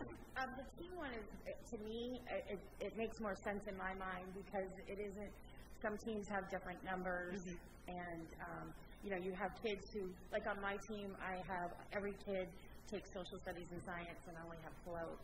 Some other teams have float for more than just, you know, just language arts and math.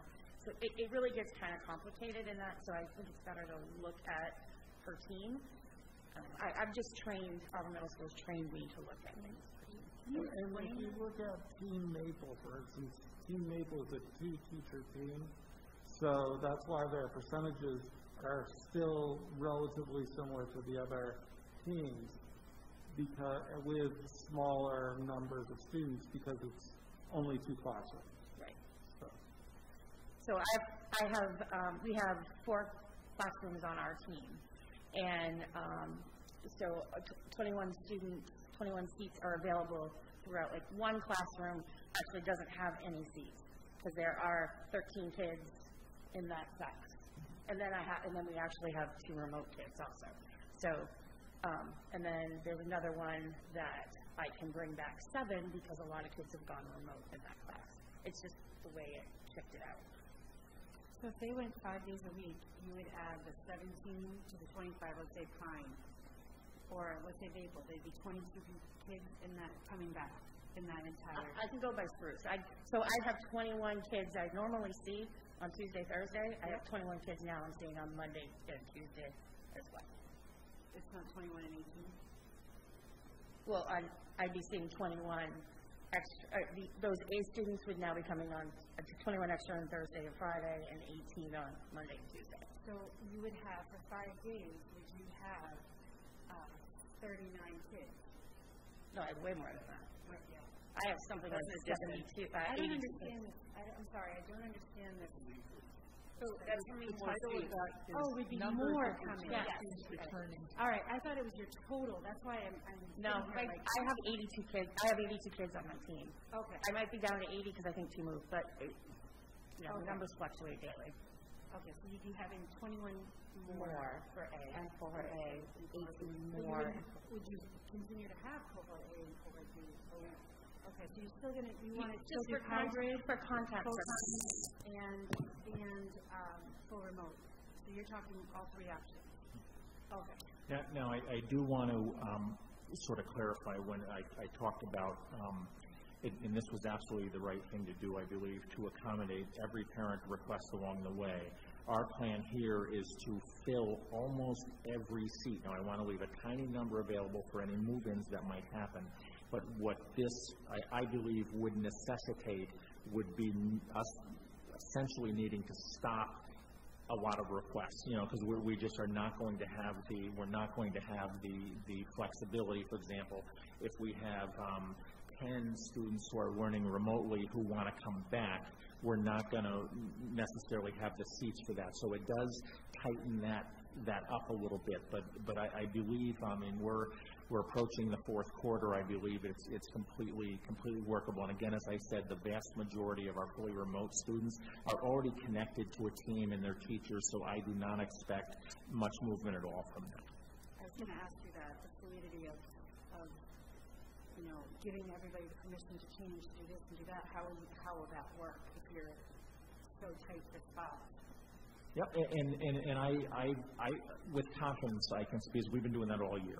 You know, we've, we, I've had to make sure there are equitable balances in teacher classrooms and team assignments and everything like that. So we've gotten very, very good at placing students and supporting them and making sure they're connected to the resources they need and everything like that. Again, what I would make sure we do is leave what would be a pretty small number of spots available, and those would really be for the move-ins we have into the, in, in- into our district in these, these last few months. Any other questions for the middle school team? It's, it's actually a point, and I, and it's for everybody, and I think, because somebody just uh, made a really good point that I think we should, we should consider when we talk stigma. Um, homelessness, dropping out, being incarcerated, and being forced to repeat a grade, there's a stigma attached to that too, um, which I think is pretty powerful. Um, that I think these folks have done the best they can. I personally believe three feet is the way it's supposed to go. I personally believe. Do you- do you have a question for them? Want to make sure No, we I, we there's hang no on to question. that. I'm going to go off, but I just wanted to bring those points of stigma that, that's Hang on to that, bring it back when we do conversation and, and debate. Any other questions for our middle school team? Um, Have a question? So the kids that are coming in, you're talking about filling in every seat that we possibly can. Um, is that just the failing kids? Like, not failing kids, I, I'm sorry, but that's, uh, the struggling kids. So, so the, I mean, the, the sort of the term we, we've adopted is the, the high support. So again, the, as Sue had mentioned, It might not be a child who's failing. I have an honor roll student, I will be asking to come in because I believe the home situation, it's better for her to be with me five days a week. I, I agree with you. I think that there are kids who are going to have, It's your question. I just, just to keep things moving, I want the questions and the conversation and debate needs to come with the motion. Any other questions for these folks? thank you, thank you. Thank you very much for all the work that you have done and for answering our questions. All right, high school folks.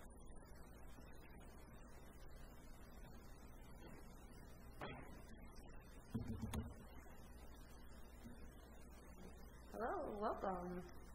Good evening. Thank you for having us. I am grateful to be joined by Terry Lathrop, one of our esteemed English teachers and one of the co-chairs of the English department tonight. Uh, for us, um, we are, our proposal is to be able to bring our cohorts A and B students back five days a week. Uh, the biggest question that we get asked often is why now? This will provide the most access for the most students. Uh, the room capacity and enrollments allow for students from cohorts A and B to attend five days a week. As we've crunched numbers based on room capacities and enrollments, we're able to see that in the vast majority of classes, we would, at this point in time, be able to get our cohorts A and B in. 30 to 40 percent of our classes are quarter classes. Changing at the start of the fourth quarter prevents multiple changes for students. We already have some natural changes that are taking place, and in our proposed plan, we try to minimize the number of changes that they would have to do through the building. By having more access to students in the building, we will be better able to support the social and emotional well-being for person for in-person students. I've Heard a lot of conversation tonight about the things that you can't see beyond a grade or a star score.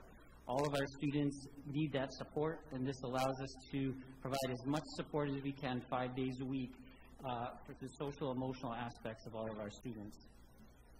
And another really key important component for us, it provides the most, more access to seniors needing to complete their graduation requirements.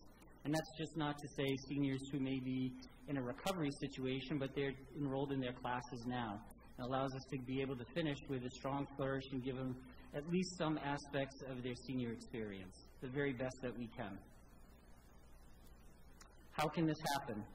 Well, having crunched the numbers and looked at our room capacities that we've established back in uh, the fall based at six feet spacing, some classes will change rooms for a period to accommodate their enrollments in a room with a larger room capacity.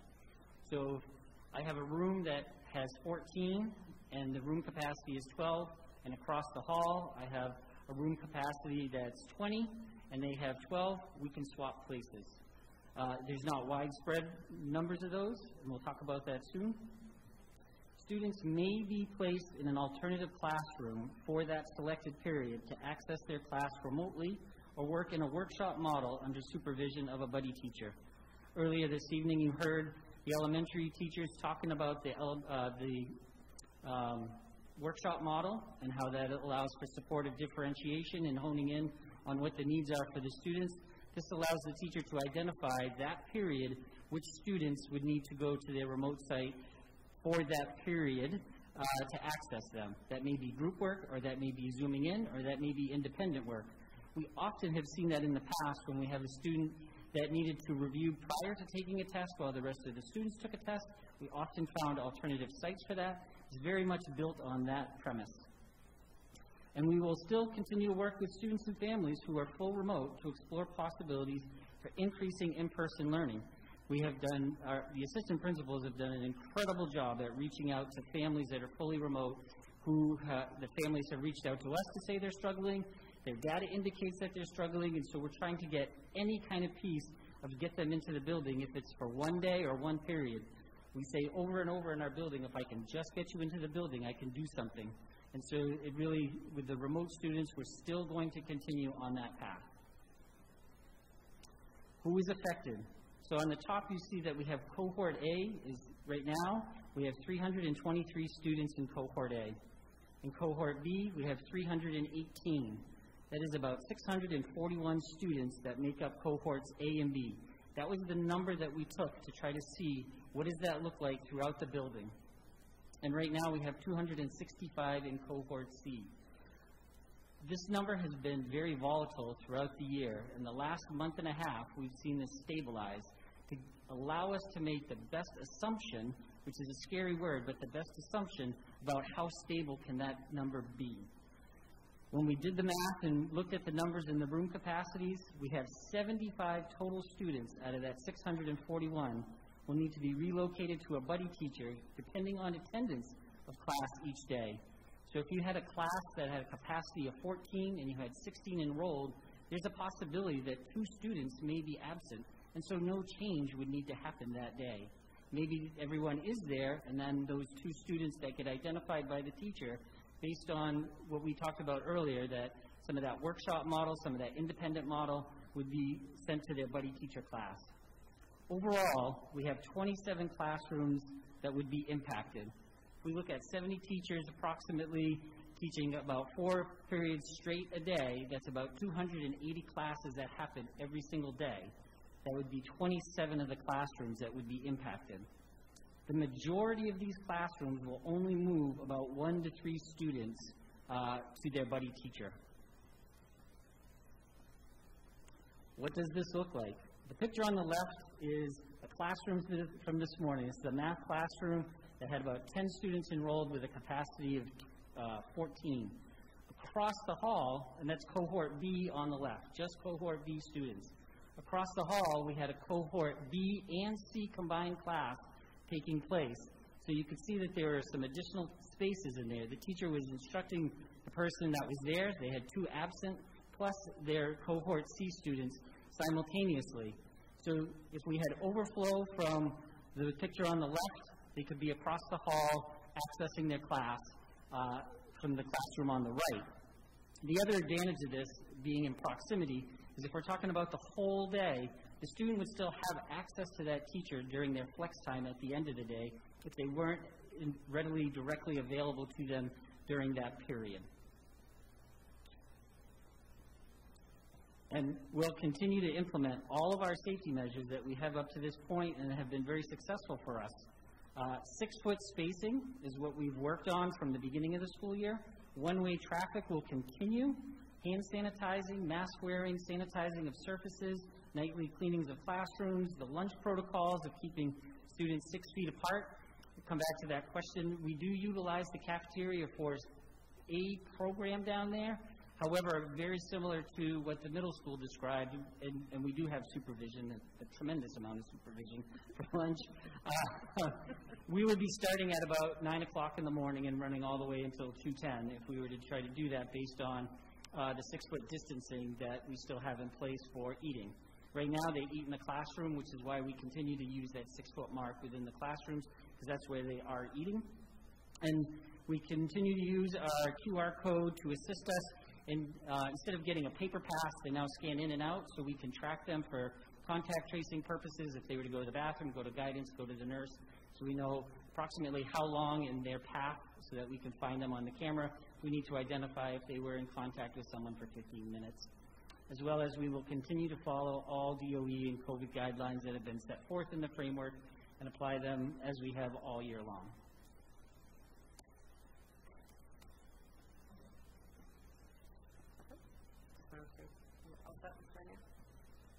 Any questions for our high school? Go ahead, Brian.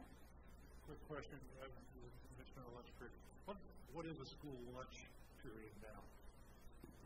So right now, uh, lunch begins at 12:05 and runs till 12:35. It happens within their classroom. Uh, they have 30 minutes um, in this model because uh, we have a 30-minute duty-free lunch period for the teachers. That's why it's built that way. We create supervision, uh, being creative with staff and ed techs to supervise hallways. Uh, so we're patrolling admin uh, free bodies that aren't doing that, and we kind of scaffold in that lunch process. In a typical year, it would be about 20 minutes in the cafeteria, five for travel down, five for travel back. Our, our in-between travel times have remained the same of five minutes. Thank you.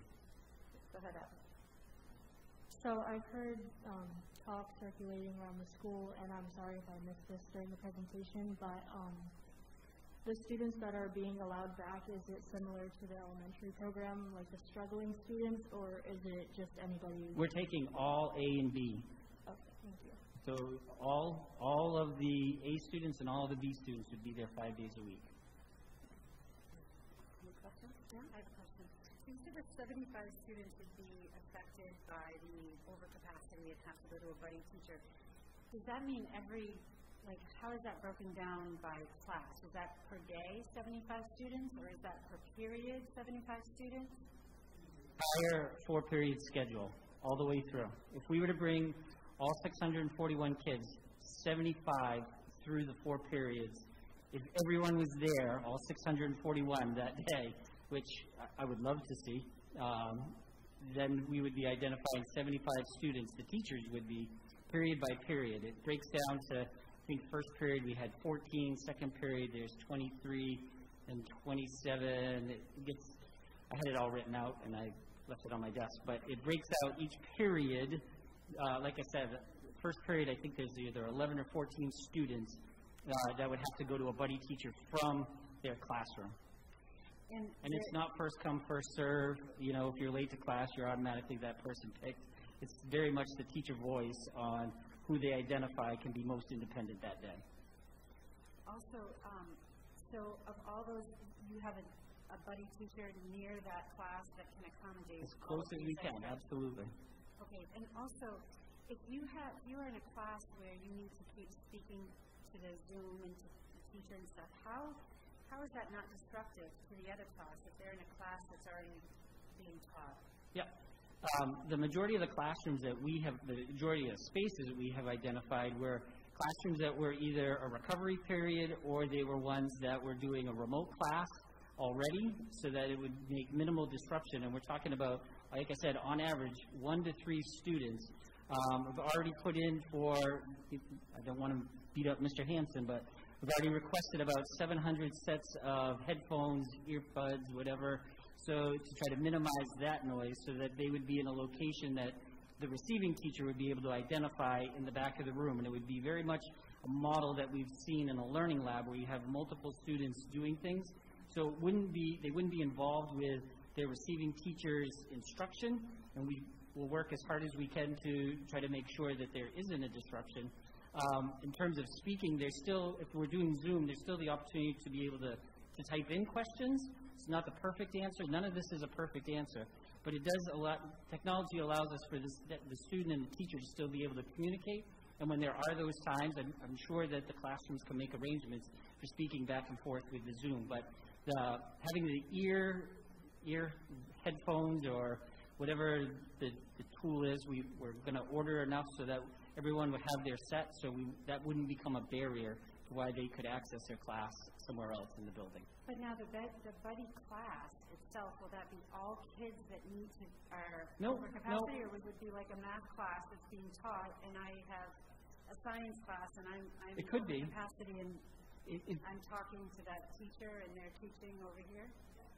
could be, or it may not be. There, there may not be, um, a- an for many of those classes, they were classes that were already, already identified as a remote classroom. Not all of them, but many of them have been identified, so the teacher is teaching remotely for those other 265 students. So it allows them to, to not be distracted by the instruction that's going on.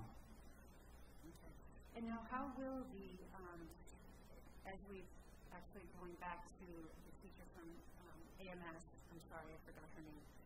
Um, we talked about uh, social, emotional, mental health. You can have a student that is, um, and this is a question, you have a student that is, um, you know, attending all Zooms, is getting great grades, but is contemplating suicide. How do you know that? Like, how are you going to assess that, and how will being in school help that student? I could speak to that a little bit. I think uh, when you have students in person, you know, say the class wraps up, you wrap up your instruction five minutes early or something, and that's those are those moments that you connect with kids and you have those chats and those check-ins. Hey, how are you doing? Um, whereas if the, if the students on the Zoom, they turn off you know, as soon as the class is over, and you don't get those check-ins. So I think that it will, the more kids are in school, the more you notice, the more you have the chance to make those connections where you see those things. And very similar in the fashion that we always have is that teachers recognize that, families communicate that, their friends are their best advocates to let us know if a crisis situation is developing. We utilize all of our resources and teams, whether it's guidance counselors, social workers, the administrators, uh, the teachers are the greatest source, and, and being around their friends who will recognize and that they've communicated with, those are all indicators, as well as the families reach out to us. So we've, we've always utilized those strategies. Are they perfect? Are they guaranteed? No, but those are the ones that we've done before, and having more access to those students allows for those opportunities to try to identify um, those struggles that may not be as visible as we would like to, that, that we were talking about. I just have one more question, sorry. And that's about the ventilation system. This is an issue I had in the beginning of the year too. Um, and it was also brought up by a community member as well. Um, the ventilation system is, can it um, accommodate having everybody in?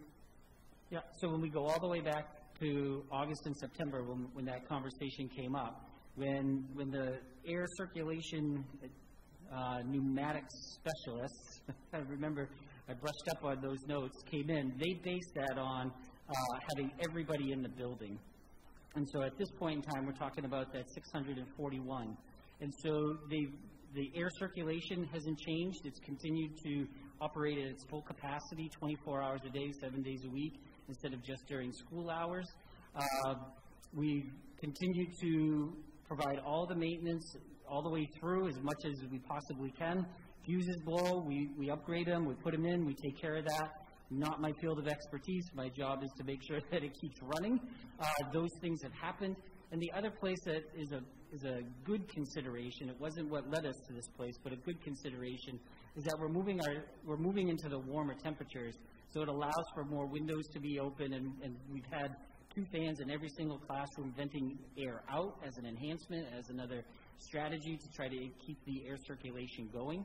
Um, all those things together put us on par with the air circulation in the other buildings. And now, I know that we did the cohorts with the whole contact tracing. That was one of the, the biggest um, reasons we did cohorts. Um, if, how is that going to work now if we do have a, small outbreak or if there's a teacher and the kids have to quarantine? Does the whole school have to shut down? Because before we have had incidences where we've shut down an entire cohort and we've maintained the other one keep, keep going. How is that going to work if we have all the? It would, would work very similar, except instead of having two distinct cohorts, we'd have an expanded cohort. So if um, a student was exposed in a classroom um, by another student, um, then it, that classroom itself becomes the cohort, and not not a hybrid A or a hybrid B. That entire classroom becomes the cohort. Thank you very much. Any other questions? All right, thank you very much. We appreciate you coming and all your hard work on this. Thank you. Horse five for you on transportation. Um, So certainly this has been one of the, the areas that, um, oh yeah, what about transportation? Very critical, very important. Um, so I know that in our, our um, steering committee, this, there's a group that meets while the different grade le- um, levels are meeting. Uh, the support services staff is also meeting. Adam is in that group as well, and spent some time in the last couple of meetings talking about this, but pulling this together today. So, Adam, do you want to go over? Sure. The, go through the bullet points, which pretty much sum up the, the transportation situation. So, as we've discussed, the, we've been able to limit the capacity to one student per student on our buses this year, and with the exception of siblings who are allowed to take together. Uh, once the once the students are identified, transportation is is ready right now to start working out the detailed plans of what that's going to look like on each bus. Because obviously it comes into play. Okay, does that student? Okay, does that student ride the bus? Okay, no, we don't have to worry about them. You know, so each situation is unique, so they'll start working those. But just from preliminary, some preliminary looks that Billy and Sheila have done, we believe we can keep most, if not all, of the runs to the one student per seat by either shifting a few students to another run or doubling up on some of the short runs. Some of the in-town runs, which happen to be the ones with the most kids on the buses, it's easy to, enough to double those up if we have to. And uh, even in the coldest of weather, we've kept some of the windows cracked open on the buses for ventilation. And as the warm weather is coming in, more and more of those windows are going to be opened up. So that's going to be another point in our favor. So we feel that the transportation will be able to accommodate the plans that have been brought forth tonight. Um, when you say double run, that's just for um, clarity purposes. That might mean I do a run, I drop the kiddos off, I've got to go get another group of kiddos, and I will be dropping them off 15, 20 minutes later than the, the original group. So it's like almost like a staggered entrance into school. That's exactly right, yes. Okay. okay. Any questions about transportation? So like lunches, which were discussed earlier, having to start at 9:30 because you have to accommodate space. Are these bus runs going to be super early for um, the earlier kids or later, or is everybody going to get to school on time? And how is that going to look to get the kids to school on time? So that I don't step out of my area where I know what I'm talking about, if Mr. Hunter is out there and would like to come in and address that question. Those are all the questions, Cam, that we were asking as well, and Billy's really got that. So will they get to school on time? Uh, the plan is yes. Uh, if we do have to double up on a run, like uh, Adam mentioned, uh, we do have some buses that arrive to some of the schools early. Some of the bus runs are short, so they get there uh, earlier than the bus runs, for instance, at North Auburn or whatever. So if we did have to go pick up some other kids, uh, we would try to use those early run buses to go pick up the other kids and get them to school on time as best we can. Any other questions about transportation? Theoretically, there could be absolutely no change in the number of kids going to school on the school bus because we don't know the data. A, there's an open invitation going out. They might all say, "No, I'm good right now." That's a great point. Um, so we don't know the data. When you have the data, then you'll probably be able to answer any of our questions. We go by what we have currently, right. uh, which is ever changing. but uh, with what we have to work with uh, and going with the experience that we have um, from past years, even though this is a different year, um, we think we can handle most of that. Any other questions regarding transportation? I would only add it would be another area when since three feet has come into the conversation, would be another area that would need to be reviewed and, and looked at, and that at that point we probably would need to look at the guidance again in um, in transportation and what we used as a standard would, would likely change. Thank you. Is there anything left on the reentry steering committee? Not just that. I think Mr. Anier's quote tonight, not a perfect answer. Um, there's one perfect answer, and we're working toward that. And that is getting all of our students back in um, full time. Uh, that's really what the steering committee is working toward. Uh, eventually, as we keep moving this and, and responding to this ever-changing um, criteria that, particularly in, in March, has been an interesting thing to respond to. So just wanted to, to, to remind us of that, that we understand that there are some things that are less than what we like them to be. Um, but we're moving toward that, and, and I do believe, as you can, I think you'll agree with me, that it's been a very thoughtful process that the educators that have um, been involved uh, have entered into and been very open-minded in trying to address the needs of the students.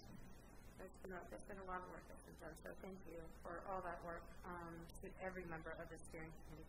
I just have one question. So, um, the steering committee has is comprised of all stakeholders. Um, my question is, how many or what is the percentage of the entire committee that is for this plan, and how many are not? So this has been a consensus process. This hasn't been a voting process. This has been a consensus process. So we work to consensus. And that's why we've had several meetings to come to consensus about this. So there's not a vote to answer your question, there's not a vote. It's to continue to work the plan until there's a plan that we can recommend. So everyone, no one has said that they're not in favor of the plan, Pam, who is on the steering committee. So is your plan that basically what you had recommended, you wanted more in person, so that was the goal, and how you made that work? Is that what the steering committee was working on? Yes. So we as a committee, I think, have, have been very vocal um, from the beginning that uh, we want to maximize and conti- continuously make sure that we are maximizing in-person learning, that we are um, that we are responding to the criteria and the situations that are in front of us every, you know, every couple of months. Um, and so I think that's that's been the goal. Michelle had that as your very first slide. Yes. Um, is to maximize that in-person learning. And I, I really appreciated, um,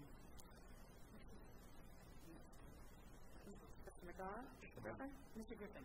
Mr. Griffin said how he likes to plan ahead, and he actually checks his school to see if he could have grade. Um, I appreciate that because I'm that kind of person that likes to look three steps ahead what is going to happen. Um, and I guess my question is, as you stated, that things are changing, things are in flux. They're talking about three feet, six feet. So, as as a reentry committee, why have we not looked at what that could look like? We have. Strategic, strategic. When you hear what Mr. Griffin said, all of the principals have done that same exercise. Okay. Measured and measured and measured. Starting back in August, actually.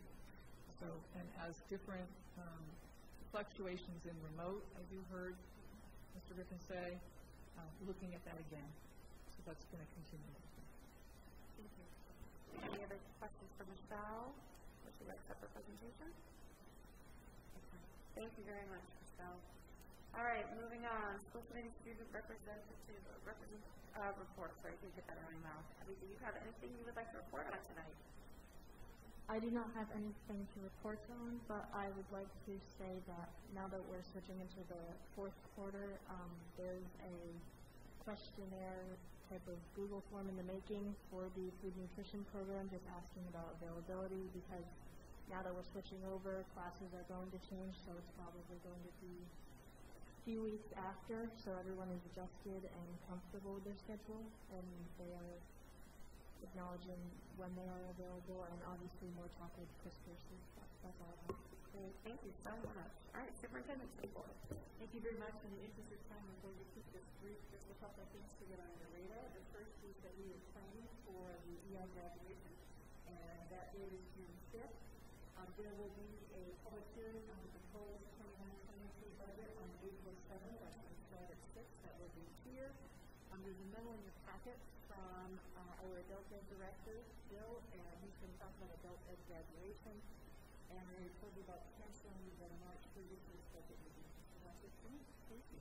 Can you give us just a little bit more information about what the EL graduation might look like? You have a date of June fifth, but, um, are there any talks about where that might be happening? We, Mr. Mayor is looking at the airport again, and if we can, um, you've probably, probably been following the guidelines, and it looks like it will be outside. Uh, the, the number of people is increasing, and I don't know if Scott is still here, um, he's the other one who wants to come and add to that. I know the governor's most recent executive order, outdoor gatherings, as of May 24th, it's 100%. So there's no restriction as of May 24th. From the airport's board, uh, the airport is planning on five graduations, right, out there. Okay. Oh, one, Okay. Ms. Bernier, repeat of, uh, beautiful repeat of. of You guys have done a marvelous job. so yes, we're tracking for uh, June 5th, Saturday, 6 o'clock. We're, we've been in many conversations with our area schools. I think some of them have been uh, quite interested in the model that we put together with Lewiston last year that went very, very well. Um, we've been in conversation with the airport uh, already, uh, even back in December, to start laying the foundation of what could that look like. Uh, last on on March 3rd, the DOE came out with some very graduation-specific guidelines. And then after Friday, the 5th, when the governor changed some, some of the capacity orders, they pulled them back. So some of us did some investigating to go pull and, and find those old DOE ones, two days older, uh, as a model of what we can do. So we are very much being mindful of what does uh, capacity look like and what, are the, what will those restrictions be. There will still be some things that will need to be in place, and so we're partnering up with Lewiston very, very much um, in terms of sharing resources and sharing planning strategies uh, for the fifth, and so we are moving in that direction very much to be at the airport. Um, the other schools are still trying to solidify their decisions, but Lewiston and EL are, are really continuing to move on that path. Um, we, the logistics are still coming out. We're still trying to figure out where some of those outdoor capacities. And so if, for us, our $50,000 question is, what does outdoor capacity mean? Uh, so we're trying to get some definitions. Uh, I've been in conversation with Mark Goslin from the city to talk about some of their resources, as well as Matt Fifield, um, to try to get some understanding of what indoor capacities and outdoor capacities look like. And that, that's going to become very beneficial for us for spring sports as well as for any of our outdoor events that we have going on. From, from, from the airport standpoint, uh, last year it wasn't a concern for the airport because we were closed down during that time period. There is a concern with us because as an open airport, we have to run everything by the FAA. So that's why we, the plans were to try to solidify as quickly as possible because, as I said, they're, they're looking at five schools. So that is a, lot of the day that the airport would be non-functioning. So that's why a lot of this was up in the air is because we were getting some feedback from the FAA as to what would be done and, and fees and things like that. Wonderful, thank you. Thank you very much. All right, uh, school committee chair, chairperson support. Um, I just want to thank the, uh, members of the school committee for joining the Auburn School Department, uh, and myself at the joint, uh, meeting of the city council, um, and school department meeting the other night. Um, and just a thank you to, we've heard from a lot of community members, um, staff members. They've reached out to the school committee over these last few weeks, so we do appreciate hearing from you. And, uh, we're grateful that you've taken the time to share your thoughts and opinions with us around the reentry committee. And city council update, Mr. Carrier. I may have just touched on it a little bit there. I mean, we were, for the most part, everybody was here, there at the meeting the other night. Uh, and I personally like having that meeting and having everybody present so that there's an understanding not only of what goes on in the school committee, but also what goes on on the council side of it. Uh, and sharing the, the fact that it's not, people understand that it's not just the school committee that's making uh, sacrifices, uh, looking very hard at the budget. Uh, part of that was the fact that the, you know, they shared the fact that the city budget, they have to look at very seriously about staffing and things to make sure that we're going to make the budget this year and how we're going to do it. So I think that the more things that we do together, uh, only benefits us all. Absolutely. Thank you, Mr. All right, school committee, uh, sorry, committee reports. You have the, um, Corin reported on the curriculum subcommittee the evening of March third. So the meeting was on March third. Um, she reported on it March third, and we have the minutes for the curriculum subcommittee. Uh, building committee, you were done, we've approved that one. You have the entire PDF that the building committee, um, was given and shown as, as well as the design and the, and the funding budget for that. So any questions on any of that? We've already done it before. All right, moving on. Right, yeah, we got a deal on it. I tried, see, I tried. Um, any other committees that need to report out right now? I, Yeah, Mr. Simpson? I did, it's not a report, but I was trying to get in before you went to Dr. Brown. Oh, It's- it's sorry. No, no, no, it's fine, it's, it's to build off what Abigail shared. Um, I was hoping to see Will tonight, um, and I think it's important we recognize Will, that he was nominated for the Travis Roy Award, which is the highest um, esteemed uh, recognition in the state of Maine for hockey players. Um, if, if you'll stay with me for a second, congratulations to the EL boys swim team and the girls. They came in second and third in, at the KVACs. last week for the boys, it's the highest they've ever done. Absolutely. And uh, shout out to Andrew Caceres, a sophomore at EL, who he didn't break the school record, he destroyed it. He, it. which is, I mean, it was an amazing thing. And I think if it's if it's safe to invite these kids in, so we can acknowledge them and their accomplishments appropriately Would in the future. Thank you very much for letting me do that. Thank you. Um, I do have to report, and I, I'm sorry should have said this earlier during this time. Um, unfortunately, we, um, have lost Will Cassidy as a student rep. Uh, when he applied as a student rep, it was the, we were in yellow, winter sports were not looking like they were going to be happening. Hockey, um, his hockey schedule took over, and now we've got spring sports are a go. And Will is a baseball player, and so his schedule, there was a lot, um, I would say the email was quite in-depth as to why he needed, um, to resign as a, as a school committee rep, but he's very much looking forward to doing it. But unfortunately, his sports schedule just did not allow him to do that. Um, speaking of recognition too, I just wanted to, to also touch on, um, the great turnout that we had on Saturday for the vaccination of educators and school staff fifty-five and older, and, and above. Um, St. Mary's did a, um, a great clinic over at Connors Elementary School in Lewiston. Um, they would have loved to be able to vaccinate everybody, but unfortunately, they were only, they only received a certain amount of vaccines, so they had to, to go with the age constraints. But um, there was a great turnout, and it was wonderful to see staff members from all over Androscoggin County coming and getting their vaccination. Do you know if they're going to be scheduling another one? They are going to be scheduling another one because it was the Moderna vaccine, which is a two-part vaccine. Um, but they weren't sure yet where they were going to have the space to do that, so they were going to, the, um, everyone's respective administrator is going to be notified of when the next clinic is, and um, they will tell them, and we'll there, and hopefully I'll volunteer them too. Um, thank you so much for both of those things. All right, so at this point, can I entertain a motion to accept the finance report for February 2021 as presented, please? So, second, okay. Donor, all right, here's this carry over here. Any questions, comments? All those in favor? Uh, Motion passes. Thank you. All right, old business. We are moving on to a few policies. Policy AC, which is poli- uh, policy AC, non-discrimination, equal opportunity, and affirmative action. Can I entertain a motion to approve policy AC, please? So moved. Thank you, Ann. Second? Oh, sorry, Dan. Sorry, Dan. Thank you, Dan. All in favor, uh, any questions, comments? Seeing none, all those in favor? Uh, motion passes. Thank you. All right, moving now into the, uh, yeah, I'm gonna stick with it. All right, the, no, I won't.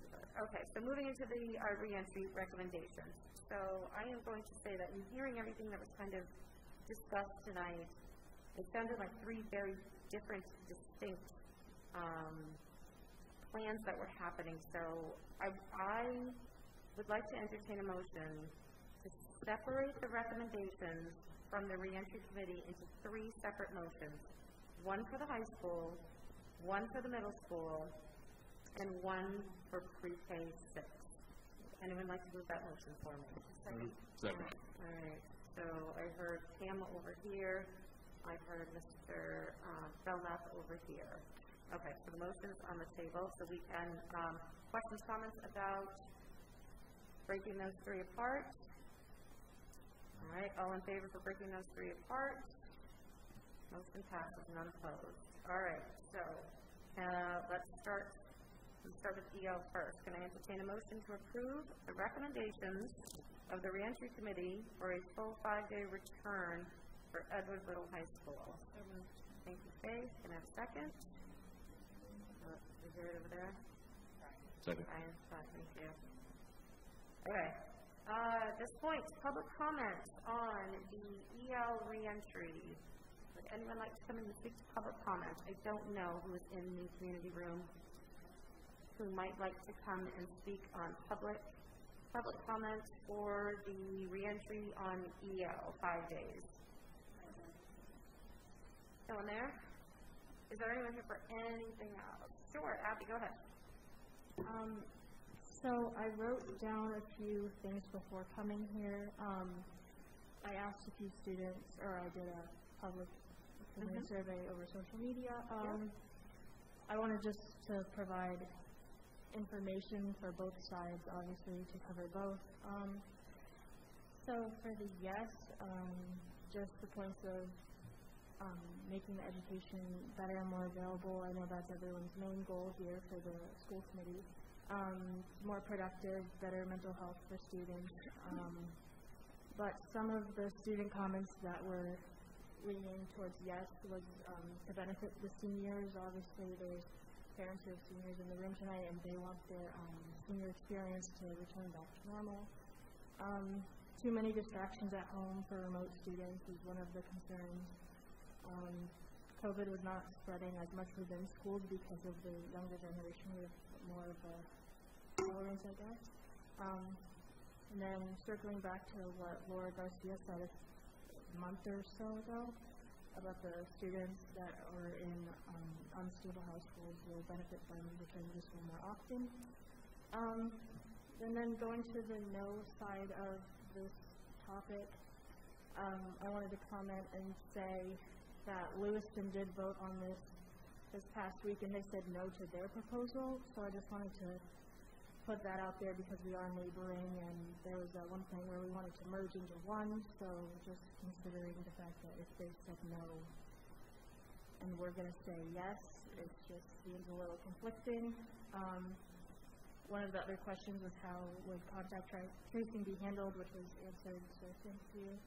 Um, and then student comments was they have finally adjusted to the schedule and they um, said abandoning it now would disrupt everything that they've been working towards with adjustment.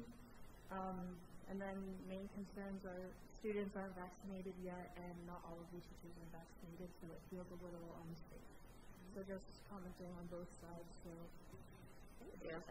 Abigail. All right, so let's open it up now to um, comments, and I think, thinking about the high school, um, I think the easiest way to sort of be thinking about this is to just kind of flip around.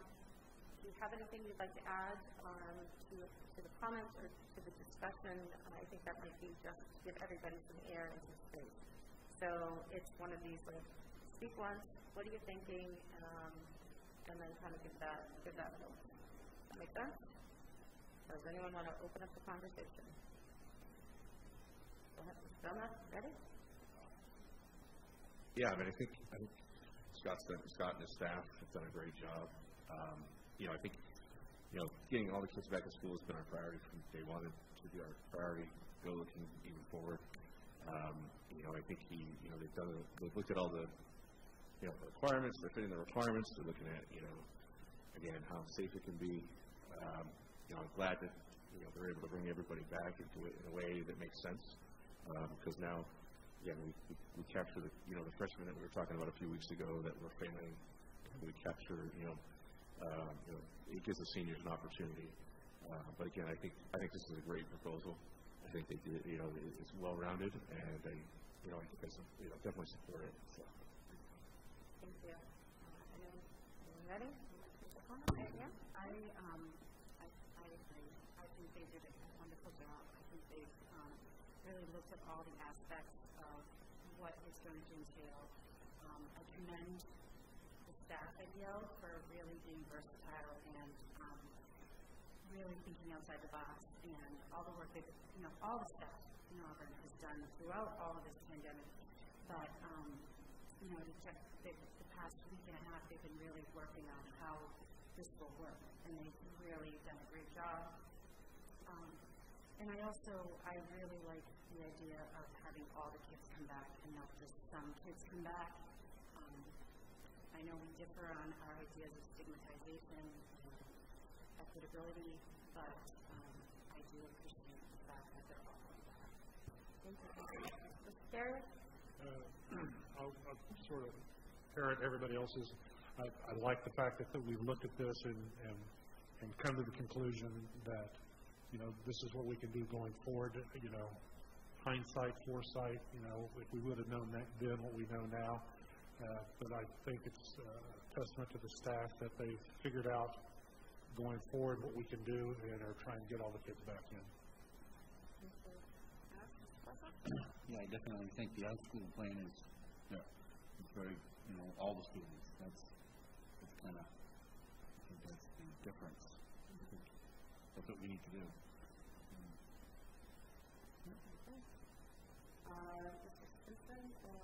Yeah, I, um, Abigail, thank you for sharing what you did. That's helpful. It's helpful information to know, like, the, you know, the moment in time, what the kids are feeling and thinking. So I appreciate you collecting that and sharing it with us. Um, I like what Bob Griffin said. He likes to plan ahead. He's not thinking about, he's thinking about next week and what's going to happen next week. Because I, I think we all, if we follow the news, the CDC is going to change it to three feet. When is that? It's going to happen. It's, I mean, it's, and I know we, I, and people in this community have been very judgmental of me. They don't know me. I'm about kids. I want these kids to get educated. That's, I, that's all I care about. And what happens when next week, next Monday, when they say three feet, and we vote to say a small piece of it? Because I heard the elementary and Bob say at three feet we could do this. We could bring them all back. Um, I, I, I dreaded this meeting all night because I, I have strong feelings about the cost that some of our kids have paid. That, and I was talking to Michelle before this meeting that, you know, when you look at the big picture of things, what has changed since August? The CDC guidelines haven't changed. The DOE guidelines haven't changed. In fact, what has changed is our positivity rate is probably four times that of August. So, you know, I respect lessons learned, okay, that we, we've learned how to manage these things. I, and I say this in the interest of every kid in Auburn, they need to all come back to school. And I would almost say table, table a vote and give the CDC, I just read three articles that Fauci and Joe Biden are engaging with this. So it's like, this is my thought. I appreciate the work people have done. This has been a very frustrating year um, for parents, for kids, for teachers, for administrators, and everybody. everybody at the end of the day should feel good about their efforts, I believe. Um, and completely off topic, but I've got to do this. That's the EL Boys KVAC uh, Nordic Team 1 1 the champions too, and Ellis Dover and Ben Condon came in line. So we've got to do that because that's ultimately their. This is why I'm, I'm here. I think it's why we're all here is for these, for these kids. Thank you. yeah, I couldn't agree with Dave more. I mean, everybody knows from day one my priority is getting kids back into school, and like Dave said, those CDC guidelines are, you know, we've done plan after plan, and I know the steering reentry committee has worked tirelessly and have made the best decisions they could. Um, and I'm gonna, I'm gonna support this plan because it gets all the high school students back in school. But if it were up to me, all kids would come back to school. Which So- is why we separated out the, uh. Right. We need to look at each, at each one. Um, so I, I would just, um, add, I would echo everything that you have all said. Um, people have been working tirelessly and hard, and to community members who are screaming that people need to get back to work five days a week, um, they are working five days a week, um, more than I've ever seen in all of my years of education.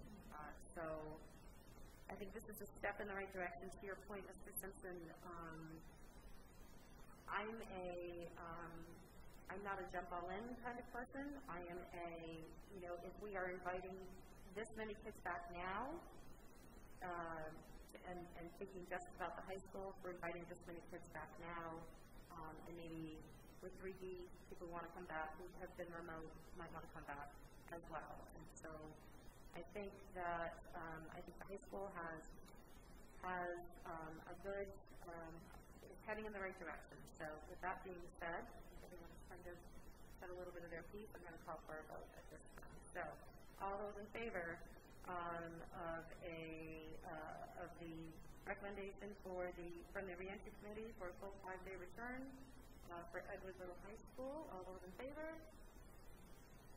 Seeing none opposed, that motion passes. Edward Little to return, uh, I believe April fifth, Michelle? All right, April fifth, full five-day return. Um, just know that it is that April fifth, full five-day return, and there's some big changes going on by so far as where these kids are gonna be able to park, where staff is going to park, with the construction trucks coming in, so perfect, beautiful storm about to happen there, and I am so, I'm so sorry, yes, I, I am, I am so sorry, um, that this is colliding all together. Um, it just adds, just adds to more of what needs to be done. Yeah, it just needs to add more of what needs to be done. All right, so, oh, Can I just say one thing? I just want to piggyback on what um, Mr. Simpson has been saying about the athletes, all these amazing um, athletes. But um, I then won the Travis Roy Award, which is phenomenal, but also Caroline Tracy, who's also a senior, is a finalist in the Becky Schaefer Hockey Award, which is an equivalent to that award for women. So I just wanted to put that out there too. Thank you. Thank you. I- And I think this is important right now um, because it's, it's about kids, right? This is kid-centered. This, this is about kids. That's why we're here. You read your code of ethics. Um, B talks about, I will at all times think of children first and base my decisions on how they will affect their education and their training. So this is children first here. All right, next one. Let's let's go on to the middle school. Can I entertain a motion to approve the recommendations of the reentry committee as they apply to Auburn Middle School? Listen, I know we can't have a conversation, we can't have anything about it until we get a motion on the table. All right, so I'll take uh, Brian Belknap and Pam. Any, no, any public comments about the middle school? There's no one here, I don't believe. All right, seeing none, let's bring it to the school committee for discussion. So same thing, let's open it up to conversation about the middle school and their reentry plan. Just a point of clarity, um, remote is still, remote, hybrid, and it is, those three options are still status quo, So with remote- invitations to return to. Right, so the remote is, kids are, it's the idea that those kids will probably still stay remote. We're entering into the fourth quarter, those kids will probably still stay remote. So then you've got hybrid, but some of the kids from hybrid will be invited back five days. So all three options will be there. Any other comments? Um, I was, I have to say, I was very, very impressed with Mr. Griffin and um, his, his staff. Um, I greatly appreciate the, um, the fact that he really has put a concentrated effort on the social emotional learning um, and the mental health. You know, I've talked about this before. You know, we all have been talking about mental health, and um, but I do think it's, it's, it's really important, and especially in this um, demographic. Um, we all know middle school is not an easy time for anybody, um, and so I really, um, I kind of wish we could bring all the kids back, but I do appreciate the fact, as Mr. Simpson said, there's the hybrid plan, there's the um, full time, and there's the full remote, so you're kind of still um, able to catch all the kids. So I, I just want to say that I really appreciated his presentation. I thought it was it was really thorough and very good. And then, uh, Mr. Carrier? I, I guess I'd like to see, uh, I'm sort of like Faith, I'd like to see a full return. And I think that the people that are currently, and I think it said that it was 251. Anybody else? There were people that were remote. I think that uh, if the need be and that the you know, desire is there by the parents and the students, that they accept back as many kids as that they possibly can with whatever utilization of space that we have to have. If that means utilizing the cafeteria and gymnasium for something other than that, then I think that we ought to do it. I think that, you know, for the people that want to be back, that they need to have the availability to come back. Also, as, Mr. Simpson said, there is a lot of moving parts right now with the CDC and um, the three feet and the six feet rule. And um, as you said, last next week it could change. Um, so I know I do feel like if, if there is potential that we can get them all in, if, and if it's safe, and the studies have shown that three feet is equal to six feet, then we wonder. I think this, for me, this is almost like another stepping stone towards full return, towards everyone towards full return. It's an opportunity to see what that looks like. It's an opportunity to see as an educator, um, just increasing class sizes, again, so for me, it's a stepping stone, because the ultimate goal, and I've said this, been very, very transparent about this, is that we're back five days. This gives us an opportunity to figure out what we're going to need to open these schools five days for everyone. So that's sort of my piece in thinking, why not all right now? I just had a follow-up question, if Michelle can answer, or Dr. Brown. I guess, I don't know if it was during the discussion tonight or whether I heard it before, that there was a shortage of teachers at AMS. Staff, if they spread the kids apart so that they can eat. Is that more because people are calling out, or is the fact that it's just, you still have staff? So I think, uh, I, yeah, it's just a a combination of both. And so, when, you have positions that we can't fill, and I think I've kept the committee updated on those vacancies. And then that's exacerbated by the impact on the county, because they have been identified as a close contact. So between the in a place like the middle school, you can impact a fairly large group quickly with those two factors. So it's both. Did we, and and I guess the question begs itself, are we still having the same problem of not having uh, an available amount of subs to, I mean, is that going to be a continuing, I mean, I guess it's going to be. Statewide, nationwide, There are no subs. there are none. No. Would anyone else like to comment on the middle school? Yeah, yeah? So the middle school is gonna do the hybrid in remote and full-time, Mhm. all three? Yep. So some kids will be invited back five days, Yeah. like that's what this plan allows for. Yep, some will stay hybrid and some, uh, yep, and some will, um, stay fully remote. So we were just talking about the quarantine and, and the lack of staff or staff getting sick. If bringing more kids in, is that going to create a bigger storm of more quarantine and more kids sick? So I think it's important not to mix anonymous stigma and sickness, because we do have kids that go into quarantine who never Yeah. become sick. So we do, by increasing the cohort size, there is a possibility we will increase the number of students who are as part of that contact tracing. And so then they will move to remote learning while they're in quarantine. That's. Okay. Any other comments about the middle school? All right, seeing none, take a vote, please. All those in favor, um, of approving the recommendations of the reentry committee as they apply to Auburn Middle School. All those in favor? None opposed, motion passes. All right, last but not least, can I entertain a motion to approve the recommendation of the reentry committee as they apply to grades pre-K, right? Is this correct, Michelle, pre-K? Pre-K through six. Okay, can I entertain a motion, please? So moved. Alright, Uh, I heard a lot. So Mr. Carrier over here, Cam, was that you over here? Okay, so you take, Cam a second. All right, any public comment on the elementary school? But I want to make sure I say it.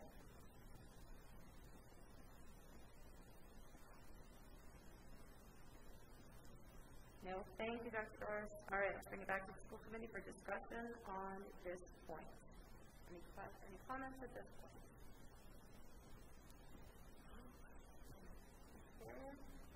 I, I'll just go first. I, again, I'm, I'm gonna, I'm gonna side with wanting to get the students back.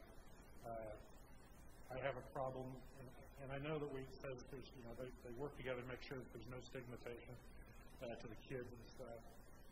Uh, I just, you know, I, I don't see that fully coming through.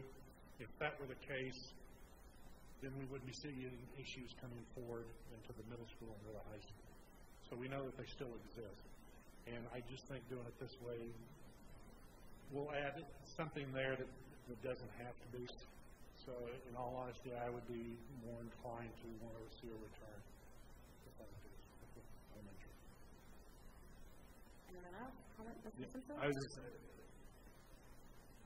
this is the hardest one for me to, to reconcile, just because I think, I believe, and I, and this is about, I think they can bring them all. I think all these kids can come back, and what resonates for me is that number that in January was twenty-five percent, and it, today it could be thirty or thirty-five percent.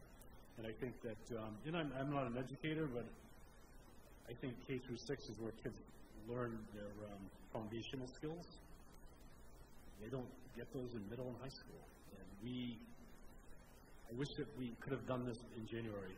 Um, and it's really, really difficult because I do think they, I do think we can, we can, I think they need it almost more than the seniors. I really do. But that's just me. And, and the, the other thing, and, and it, that throughout this process, when I opened my notebook today, I opened on August 19th, and notes I took, and, and it brought me back.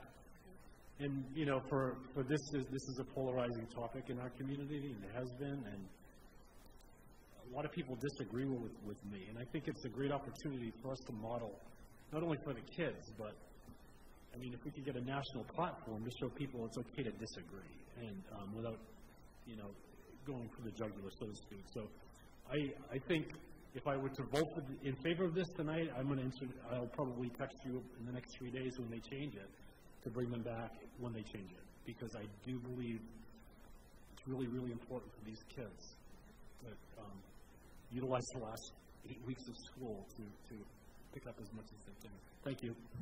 So I'm going to piggyback on what you said. I have been asked the question, why now?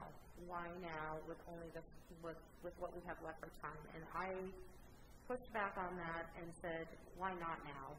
Uh, if we can double the amount of time that some of these kiddos, I believe every moment in front of your teacher and with your and with your peers is important.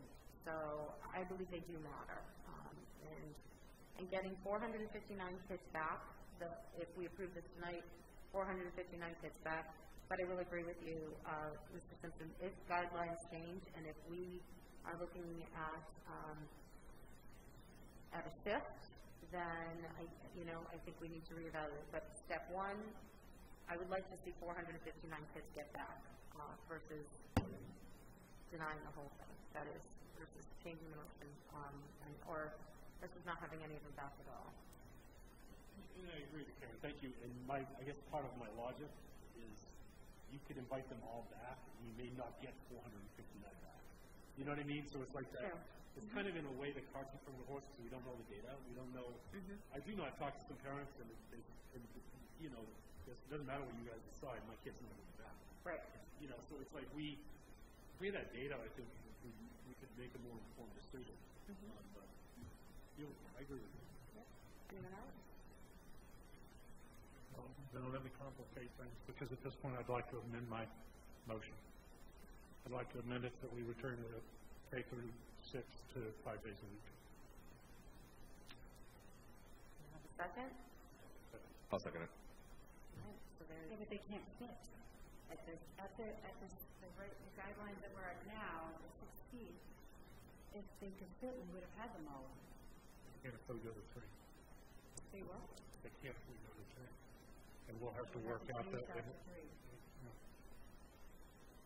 We still have to vote on, we still have to vote on this. This is not, I'm just making an amended motion. you still have to vote on the, he's got a second, um, so there's a conversation, you still have to vote on his amendment. So, yeah, my, I, I guess my, um, I'm, I'm with you, I would, I would rather have them all in than just picking and choosing who's coming in. I have a, and I know that everybody's done a great job of talking about it, but I still, it's still a tangle for me. Um, stigmatization, the, I don't feel like it's an equitable plan, um, as far as it isn't fair to all the kids. I realize that some kids need more than others and that that's what you're considering when you're talking about equity, but, um, it, you know, you're talking about one kid in one family might be able to go and then two, then two siblings stay home and it's just creating a dynamic that is a negative dynamic that is just going to further traumatize and stigmatize these children, and, and that's my fear. Um, but I do, I mean, if it was changed to three, but then my question to you is, what about lunches now? Because they still have to be six feet apart to eat, whether that's two to three feet or not. We still have, can that be accommodated? Think it can be, I think from what we heard tonight, that's what was holding, that was, that's what was holding back. Um, that's the challenge right there, is feeding, or lunches need to start at nine AM and, um, go a long way. So at this point, what I'm gonna do is call for a motion, call for a vote on the amendment, um, to the motion for five days. So all those in favor for the amendment to to the motion to bring kids back five days a week. Um, all those in favor? One, two, three, motion does not pass. Okay, so we're back to the original motion, uh, which was to approve the recommendations of the reentry committee as they apply to pre-K through six. So at this point, I'm going to call for, um, any, or further discussion, on this. your Can wrapped up. can I ask who made that motion? Who made the motion? Mr. Terry. the original motion, and I also made the amended I just want to say the reason I didn't agree with that is because there's no plan. You know, it's just let's bring them in, but there's nothing that has been set in stone as far as how are we going to do this. So I think it, and I know it's not my lane to be dictating how it's done, but I would also, as you all know, I like to ask a lot of questions, and my question is, how would this be done? How would they eat?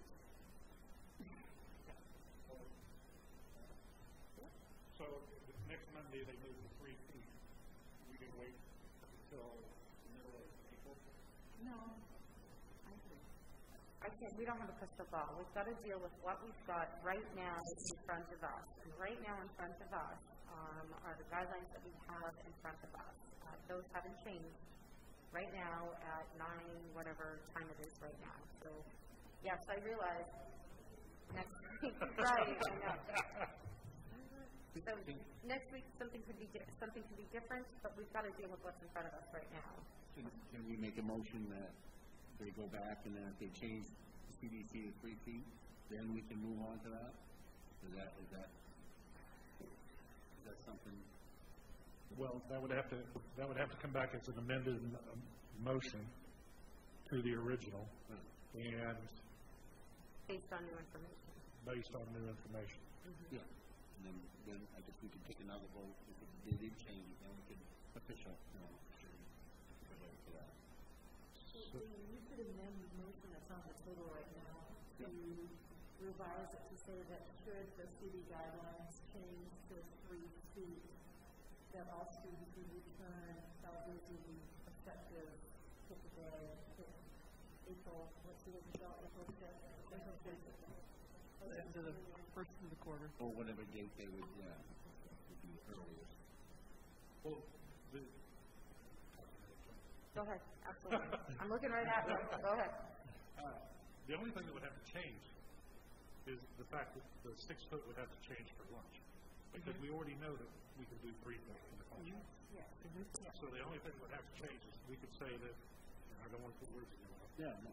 But make this, uh, make an amendment to the motion that say that should the CDC rules change, lowering the standard for lunches to three foot, then we would move the schools back automatically to, to participation.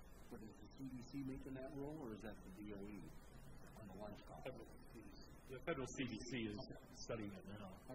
And then the DOE would have to adopt those guidelines. Yeah, it's hard to find the information. CDC, national CDC has to make that decision. Maine DOE needs to accept those guidelines. Yeah, so I'd like to make that amendment. Question, then, that how are the other schools doing? That doesn't, So they are eating six feet apart. Um, so I They're all- called, I they're- called a diff- a couple of Elizabeth different. And, Mhm. and all the other schools are all six feet apart? They are eating six feet apart. They accepted federal monies when they signed on the dotted line. They are eating six feet apart. They are. I, I called probably, called or emailed probably eight different, um, people in eight different districts today. Yes. Abby? So just to clarify the hypothetical three feet change, if it were to happen next week or sometime, um, for the elementary school, it would be the three feet, but for like Edward Little, um, correct me if I'm wrong, but it was, we are okay to A cohort and B cohort to return while staying six feet. So would that three feet rule be in effect for all schools regardless, just so everyone's on the same page, or just elementary to get everybody back? I don't think it would affect you because you're coming in five days a week. So you could then, instead of having to stay six feet apart from your friends while you're eating, you could actually, you're three feet apart. Would be like a typical day in at school having lunch, I believe. Does that make sense? I Maybe you could eat in the cafeteria, I I don't, I don't know. Okay, so I'm a little lost at this point. Um, we've had the original motion. Dan, you want to amend the motion to say that, so the, the motion is to approve the recommendation of the reentry committee as they apply to grades pre-K through six with an amendment that should the, I guess we should call them DOE guidelines. DOE guidelines or CDC guidelines? What do what do we have to go by? Guidelines currently say three to six feet. For lunch too? No. No. Just for, right, so if you're talking about just lunch, They're saying thirty-six on everything else was good, but it's the lunch Having specifically. the mask And they eat in their class. They, they're, right now, they're eating in class, so they're six feet apart, so that's why, I don't think we need to worry about is changing the guidelines for the. for the lunch, and how are we gonna do that? Like, I know that there's talk about, um, the, the, the change in distance of three to six, um, but has that also encompassed eating three feet apart? I don't know. As opposed to six feet? They can, they can sit three feet apart in the classroom, and then they can eat three feet. No, because their masks are off. Yeah, their masks are off. They have to, they, if their masks are off, they have to be six feet apart when they're eating. That's, yeah, they can sit with their they're changing, then that's what we. But we don't know if they're changing that. We don't. So what we're saying, Dan is making the proposal, however, should those, should the, the mandates or the guidelines, whatever you want to call them, around, um, the eating for the CDC guidelines, DOE guidelines, change to three feet, um, then we would support the full reentry, um, of pre-K through six. And Brian is, Brian Carrier is seconding the amendment. So now I'm going to ask for a vote. All those in favor? I have a question though, I'm sorry, to make more confusing. I know, I have a question. When you make this. I amendment- almost got it in. I know. Sorry. When you make this amendment, are you saying that we agree with what has been, um, given to us today as putting in the kids that are, like, just the kids that are chosen, and then if it changes, we have them all? Mhm. I, I, was- yeah, so, but we didn't even decide if we want that or not, that first motion. We can't because he amended it. We can't vote on that yet because Dan amended it. So now that there's an amendment there, now we've got to vote on his amendment. And Vote on the overall. then we vote everything else. I I took a test on Robert's rules. Mr. Simpson? No, I, I'll let you know how to get it. Oh, Ally, sorry. Um, I'm sorry. Yeah. So, just to throw it out there, um, double masking is now a thing. I feel that if we do move to three feet, it should be recommended. But I know that the guidelines say within three to six, so obviously it would be okay, but I just feel like double masking would be, should be recommended, not forced, but should be an idea thought about. We've been pretty um, uh, diligent to the guidelines that are passed down to us. Um, So if that's one of them that comes with, you know, any changes to the spacing, then we will, we're not going to uh, break any rules of here. I feel like, I feel like that should be two motions. I mean, I know we amended it, I know there's an amendment, but I feel that, um, I have to do, we've got to, we've got to do this one right now. We're going to vote on the other one after him. Yes. We're still gonna vote on two. We're This, come back to this that is in a just for his amendment. And Yeah. then we vote on the Yeah, we're going to vote on the, but his amendment is- says that we are voting for this, the, for the set, having just certain kids come in, the what's, what's presented today? Is this, is this what we're voting on? No. I What's presented today as well as the amendment to change it if the rules change? so we're voting on all students Isn't that what pre-K through six. No, we're voting on all kids pre-K through six coming back full-time if the CDC DOE guidelines for eating lunch within three feet come into effect. And then we're going to vote on what they presented. Okay. Then we vote on the bigger one and says yes or no. Oh, okay, so right now we're going to vote on the amendment. Yeah, uh, okay, hands and feet side to right at all times. We vote. All right, so we're going to vote on the amendment that Dan just, that Dan, is that a question are you voting? Is that a question I'm going to make an amendment to Dan to say no sooner than uh, April 5th. For a full return if there's a change in the CDC guidelines. That's what you said. Yeah. Oh, is that in the end of the agreement? Okay, didn't know that. I'm like, oh my God, isn't that what you No, I didn't want this to. All right, so all those in favor of Dan's amendment? Uh, seeing none opposed, that amendment passes. So now, we have just added on, just kind of packed it in there. Thank you. All right, so now, um, we're gonna go back to the original, uh, now, read, you've been taking copious notes here. So read back this next, this next one we're gonna vote on. There's a move to approve the pre-K through six and three. Absolutely, as, as proposed, as amended. Students would return five days a week if the CDC guidelines change to for lessons in the Okay?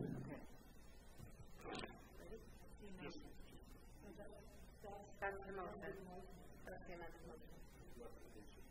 That's. Point of order.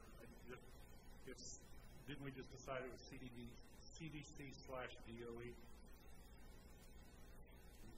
Because we, we said it was the DOE that we're following, that they, they give us the money. Well, um, to, to Taylor's point, we do have an MOA with the Teachers Association that will refer to the MDOE guidelines system. So that would be the sort of guidelines we have to follow.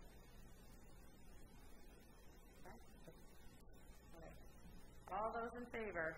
Uh, oh, I'm sorry, I'm, I'm Okay, so. I just don't want to vote on the wrong thing. Right, so what's happening now, Pam, is that we're about, we've already done the amendment, that is all done. So now, we are voting to, step one, bring four hundred and fifty-nine kids back. The struggling kids. Yes, those four hundred and fifty-nine high support kids. If, when the DOE guidelines change to three feet, all of them can come back in. And I'd like to make an amendment that we, because we may No, not. you have to, like, make your amendment, then we have to have the discussion. I'd like to make an amendment that we vote on whether or not we want, um, high needs kids coming back, um, first, and then we can also make, vote on bringing them all back in if the CDC changes its rules three feet. So I'd like to make an amendment that we vote as it was, um, as far as the plan that was presented to us from the reentry, which is just bringing back the struggling kids and not all the kids. And then if, if we vote on that, yes or no, and then we should also have that plan of, of if, I don't try to follow you. if the CDC changes its rules and we can have three feet, then we can bring all the kids back. That, we already did Yes, that. we did vote on it, but we're lumping it in with the, bringing them in, um, just bringing in a certain amount of kids now. Step one, and then if the CDC DOE guidelines change, then it becomes all of them. I guess what, They're together, that's the motion now, that's the motion, um, that's here now. You can, You can choose to vote no.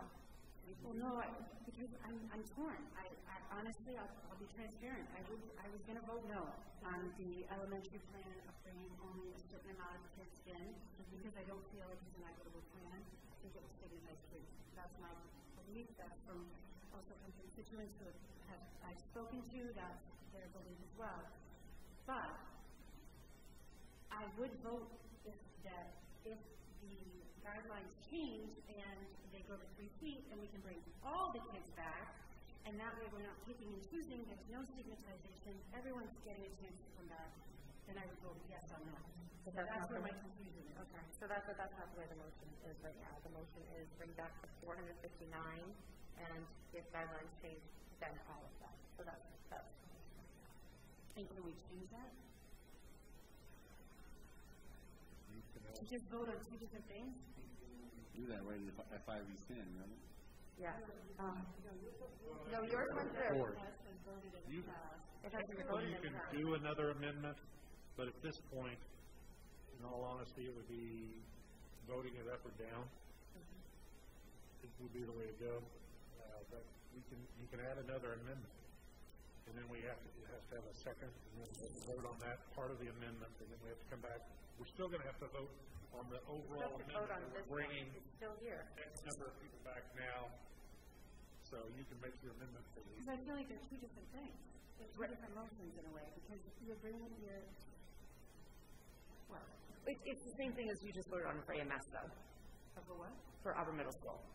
You voted back, and, and, and I'm No, no, I'm saying about picking just a certain number of kids that are identified as struggling. Correct?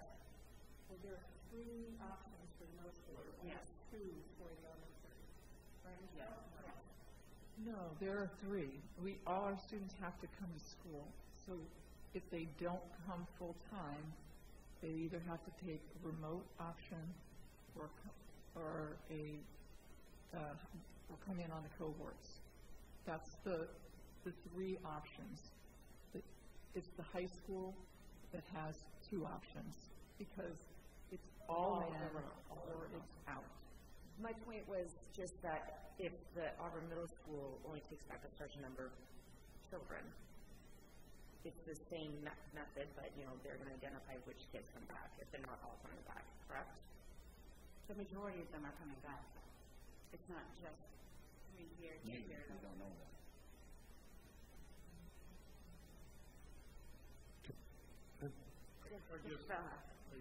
So, uh, I just want to make a comment and then an argument against Pam for a minute. So my comment is, I think, I think the elementary staff, teachers did an amazing job coming up with legitimate criteria to bring back students that, I don't like the word struggling, there, it's an opportunity, um, to, to argue against you, Pam. I think we're being more inequitable keeping these kids at home and doing nothing. I'll be honest, I can look myself in the mirror and go, you know, if, if we're, if we're gonna deem these kids because we're bringing them back as inequity, for me, I can, I can handle that. For me, I can't handle doing nothing. You know, I think at twenty-seven to thirty percent of struggling kids, if we do nothing, I, I think that's worse than if we give these kids an opportunity. We give these parents an option, an opportunity. Is it the right stepping stone? Yeah, it's a stepping stone. I like the amendment that Dan made. I would love to see all these kids back. I'd love to see the CDC DOE change to three feet. That's why I voted for all kids in, all kids, I'd like to see all kids go back, middle school, high school, and, and elementary. But again, it goes back to, I think we're being more inequitable keeping these kids at home and knowing that we're keeping them home than to give them an opportunity for back. four hundred and fifty-nine kids is a lot of kids.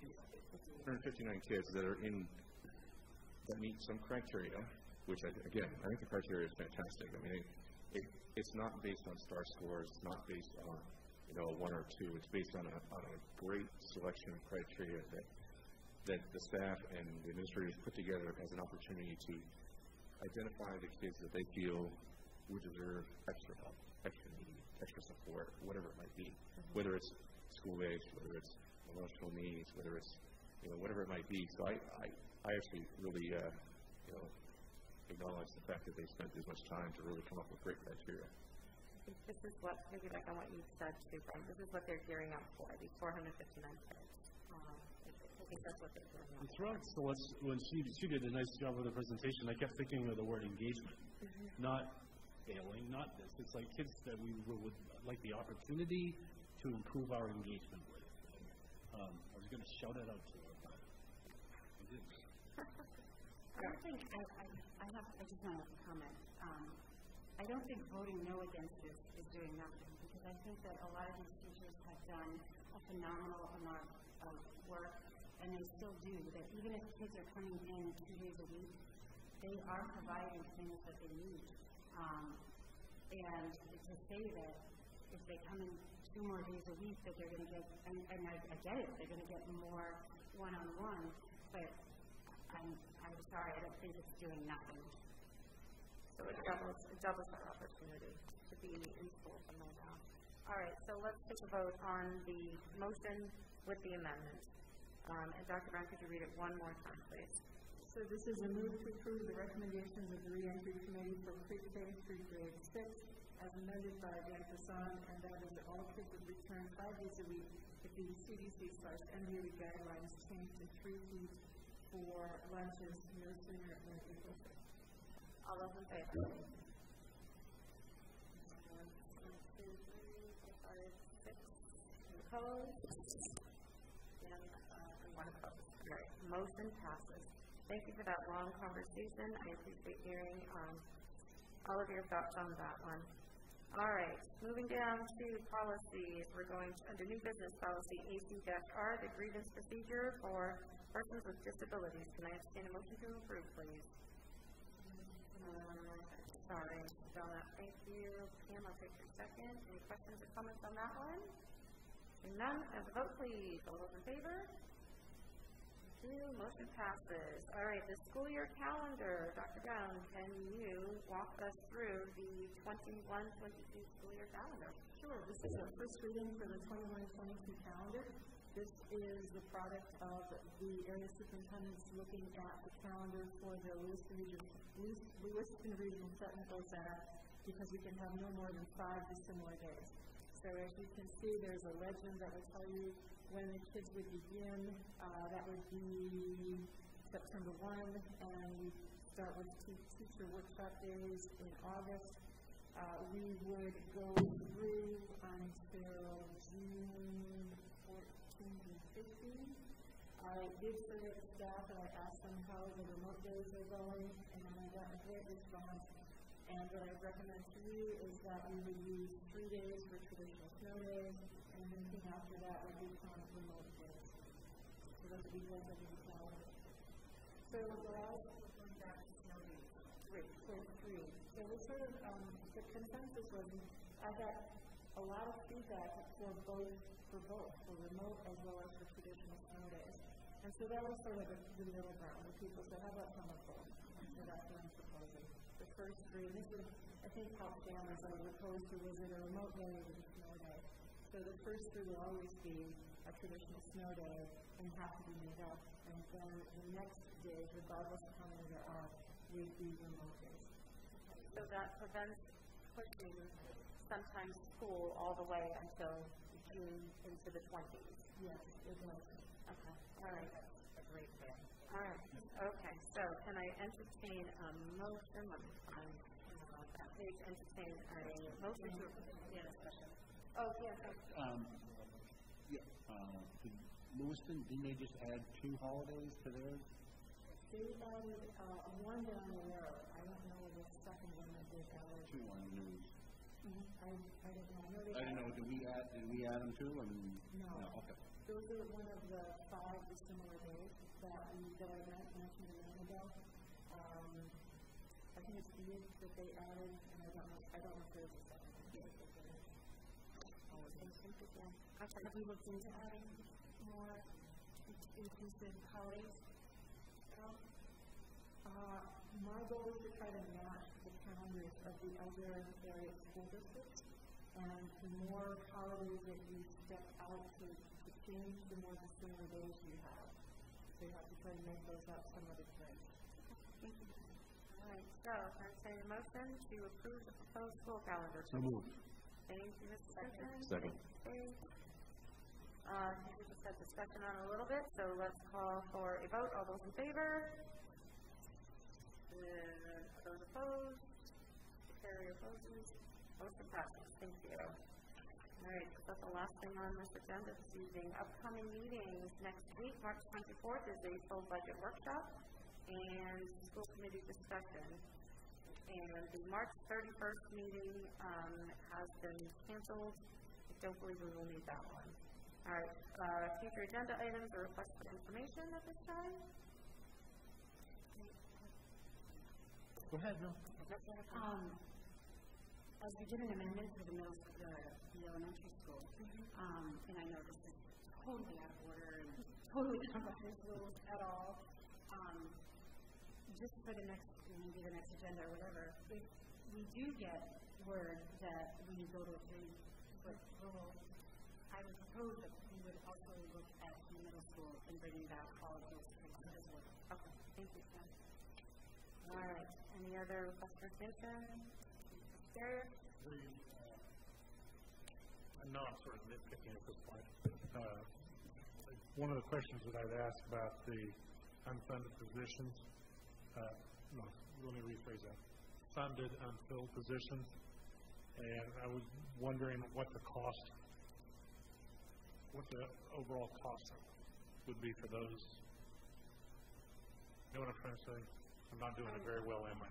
No, we're all very confused right now. I'd, I'd like to know how much we would spend, Bring them back? no, they're funded already. I want to know how much of that is funded. I, I know it's hundred percent, but If I took those positions out, what's the value of those positions? you knew. Good thing she can remind. All right, any other requests for information? Right, seeing none, can I entertain a motion to adjourn, please? Mr. Second. Second. Mr. Westphal, all those in favor? I'm not even looking at, motion passed. Motion passed. Adjourned, eight fifty-nine PM. Thank you all for the conversation this evening.